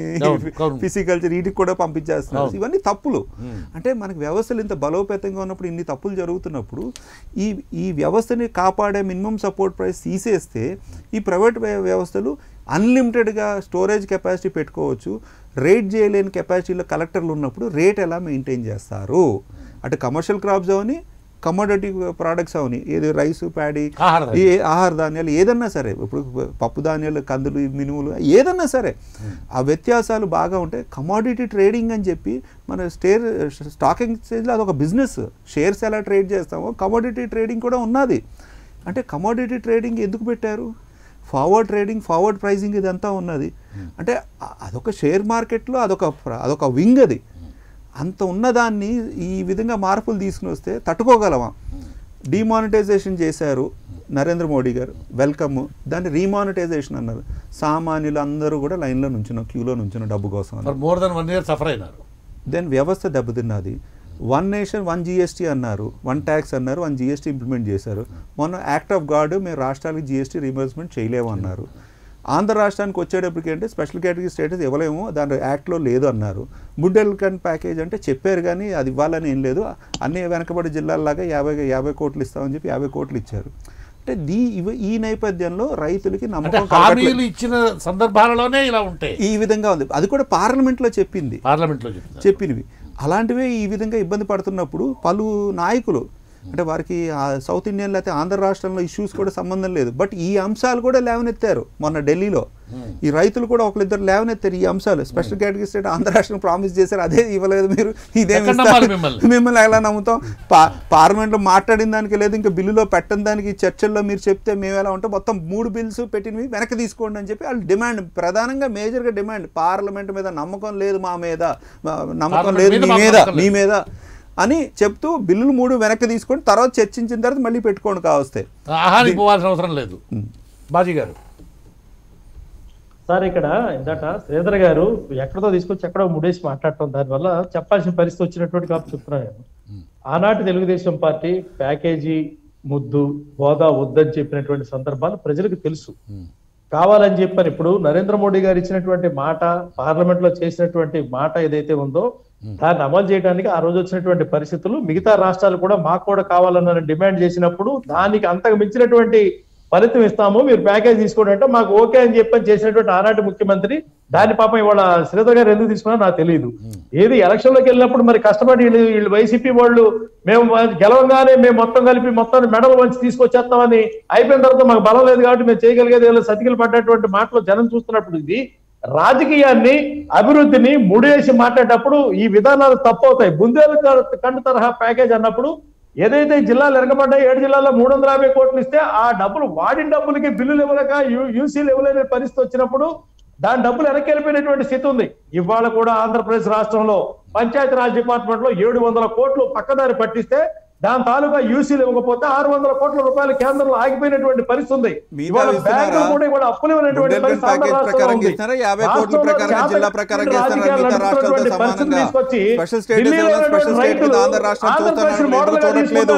రైతులు కూడా అదే నమ్మకం కలగట్లేదు. మీరు చెప్పే న్యాయం లేదు. ఓడిపోయారు. మీరు చెప్పనండి. ఆంధ్రప్రదేశ్లో చంద్రబాబు నాయుడు ఓడిపోయారు. మీరు హామీలు ఇచ్చారు. మీరు ఏదో వరగబెడతారని చెప్పి మిమ్మల్ని అధికారంలో కూర్చోబెట్టారు. ఇవాళ మీరు చేయాల్సింది పార్లమెంట్లో చెప్పండి అంటే ఏదో మంచి జరిగిందని చెప్పి నేను బిల్లుకు మద్దతు ఇచ్చాము. తీరా చూస్తే జరగలేదు. కాబట్టి మధ్యాహ్నం వరకు బంధుకి ఇచ్చారని చెప్పని ఈ సన్నాయి నొక్కులు మాటలు ఏవైతే ఉన్నాయో జనం చూస్తారు. ఇవన్నీ ప్రజల్ని వంచడానికి పనికొచ్చే తప్ప ఇది నిజాయితీతో మాట్లాడేటువంటి మాటలు కాదు. కృష్ణమోహన్ గారు ఇది పదమూడు రోజుల నుంచి జరుగుతున్నటువంటి ఉద్యమం. కానీ కేసీఆర్ గారు కూడా నిన్న పిలిపించారు. పదమూడు రోజుల నుంచి నోట్లో ఏ బెల్ల ముక్క పెట్టుకున్నారో మీరు చెప్పగలరా? నిన్న ఎందుకు పిలిపించారు? పదమూడు రోజుల నుంచి రైతులు గుర్తు రాలేదా? జిఎంసీ ఎన్నికల్లో ఓడిపోయిన తర్వాత కేంద్రం మీద యుద్ధం చేయాలన్నప్పుడు రైతుల సమస్య గుర్తుకొచ్చిందా అని చెప్పని నేను గవర్నమెంట్ అలాగే. చేసి అలాగే అనుకోండి తప్పేమిటి? అలా అనుకున్నా కూడా తప్పేం లేదు పదిహేను కదా. రోజుల క్రితమే ఇచ్చారండి. మీకు కావాలన్నప్పుడు మీకు కావాలన్నప్పుడు రైతులు గుర్తొస్తారు. మీకు కావాలన్నప్పుడు గుర్తొస్తుంది. మీకు కావాలన్నప్పుడు ఆంధ్ర. రాష్ట్ర అభివృద్ధి గుర్తొస్తుంది. మీకు కావాలన్నప్పుడు తెలంగాణ రాష్ట్రం గుర్తొస్తుంది. అంటే మీకు గుర్తొచ్చినప్పుడు మాత్రమే అభివృద్ధి. పక్కోడి గుర్తొచ్చినప్పుడు అది అభివృద్ధి కాదు. ఇది సమాజ వ్యతిరేకమైనటువంటి ఆలోచన ప్రజలు. తెలంగాణకు బ్రహ్మాండమైన తీర్పు ఇచ్చారు. అది వారికి కూడా తెలుసు. మనం దీని గురించి చెప్పాల్సిన అవసరం అయితే ఏం లేదు. మీరు అభివృ- అభివృద్ధి తీసుకుని రావాలి డెవలప్మెంట్ తీసుకుని రావాలి రైతులకు న్యాయం చేయాలని మేము కోరుకుంటున్నాం. కానీ మీరు ఏదో ఏదైతే Yes. అడుగులు వేస్తున్నారో అది సక్రమంగా లేవు దానికి ఇంకా మార్పులు చేర్పులు జరగాలి అని మేము కోరుకుంటున్నాం. అంత మించి మిమ్మల్ని ఏం కానీ కలిసి ప్రయాణిద్దాం అంటున్నాం. రైతులు కూడా మేలు చేకూరే విధంగా సన్నకారు చిన్నకారు రైతులు ఎక్కువ మంది తొంభై ఐదు శాతం ఉన్నారు తొంభై ఐదు పర్సెంట్ ఉన్నారు కాబట్టి ఉభయ తెలుగు రాష్ట్రాల్లో మనందరం కూడా సఖ్యతగా ముందరకెళ్ళాలని మేము కోరుకుంటున్నాం. వ్యవస్థల్ని కాపాడుతూనే. మార్పులు కావాలని వైఎస్ఆర్సీపీ డిమాండ్ చేస్తుంది. వ్యవస్థను కాపాడుతూనే. Last concluding remarks Kumar garu. ఏదైనా సరే ఏది ఏమైనా కానీ అరవై ఆరు శాతం ప్రజలు రైతాంగం. ఇది దేశం యొక్క ఎకానమీని నాశనం చేసే దిక్కు తీసుకుపోతుంది. ఇవాళ నల్ల డబ్బుని తీసేస్తామని చెప్పేసి నోటుబందీ కార్యక్రమం తీసుకొచ్చినారు. ఇలా దొరకట్లేదండి నల్ల డబ్బు? ఎన్ని లక్షలు ఎంత ఎంత ఎకానమీ దెబ్బతిందండి ఎంత కనిపెట్టినారు నల్ల డబ్బు ఎకానమీ దెబ్బతినడం నేను కాదు. ఏమంటున్నానంటే కొన్ని లక్షల మంది రోడ్ల మీదకి వచ్చి ఉద్యోగాలు కోల్పోయారు. ఎస్ That's a అదే very dangerous ఇది- దీనికి. సంబంధించి కొంచెం విజ్ఞతతోని తర్వాత రైతులు ఇంతమంది అడుగుతుంటే దేశం మొత్తం ఇంత ప్రశ్నిస్తున్నప్పుడు వాళ్ళందరూ అంటున్నారు కదా ఇది రాజకీయ ఉద్యమం వీళ్ళందరూ కమ్యూనిస్టులు రాజకీయ వీళ్ళందరూ పార్టీలు రాజకీయాలు చేయకపోతే. లాక్డౌన్ కూడా సరిగ్గా చేయలేదు. లాక్డౌన్ కూడా సరిగా చేయలేదండి. దేశంలో ఇవాళ ఈ పరిస్థితి ఏంది? ఇప్పుడు మా రాష్ట్ర ప్రభుత్వానికి దగ్గర దగ్గర యాభై యాభై మూడు వేల కోట్ల రూపాయల నష్టం జరిగింది.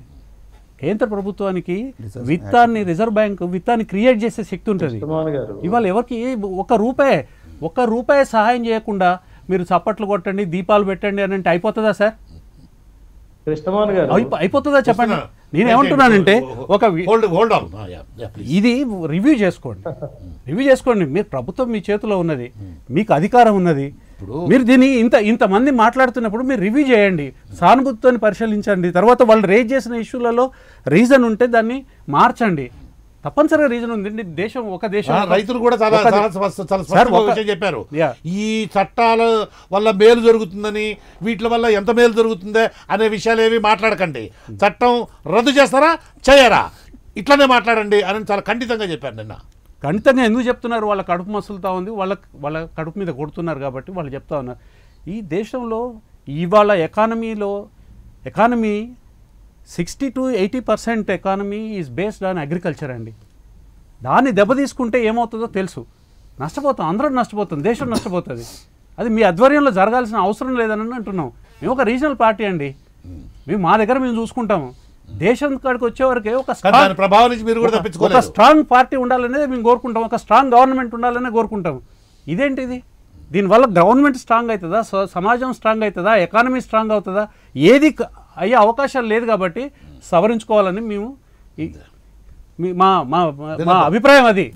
ఆ సవరించుకునే కార్యక్రమం చేయండి. ఊకే బురద జల్లితే ఏం ఉపయోగం మా మీద? చివరి చివరి కన్క్లూడింగ్ రిమార్క్స్ చెప్పండి. ఏం లేదు.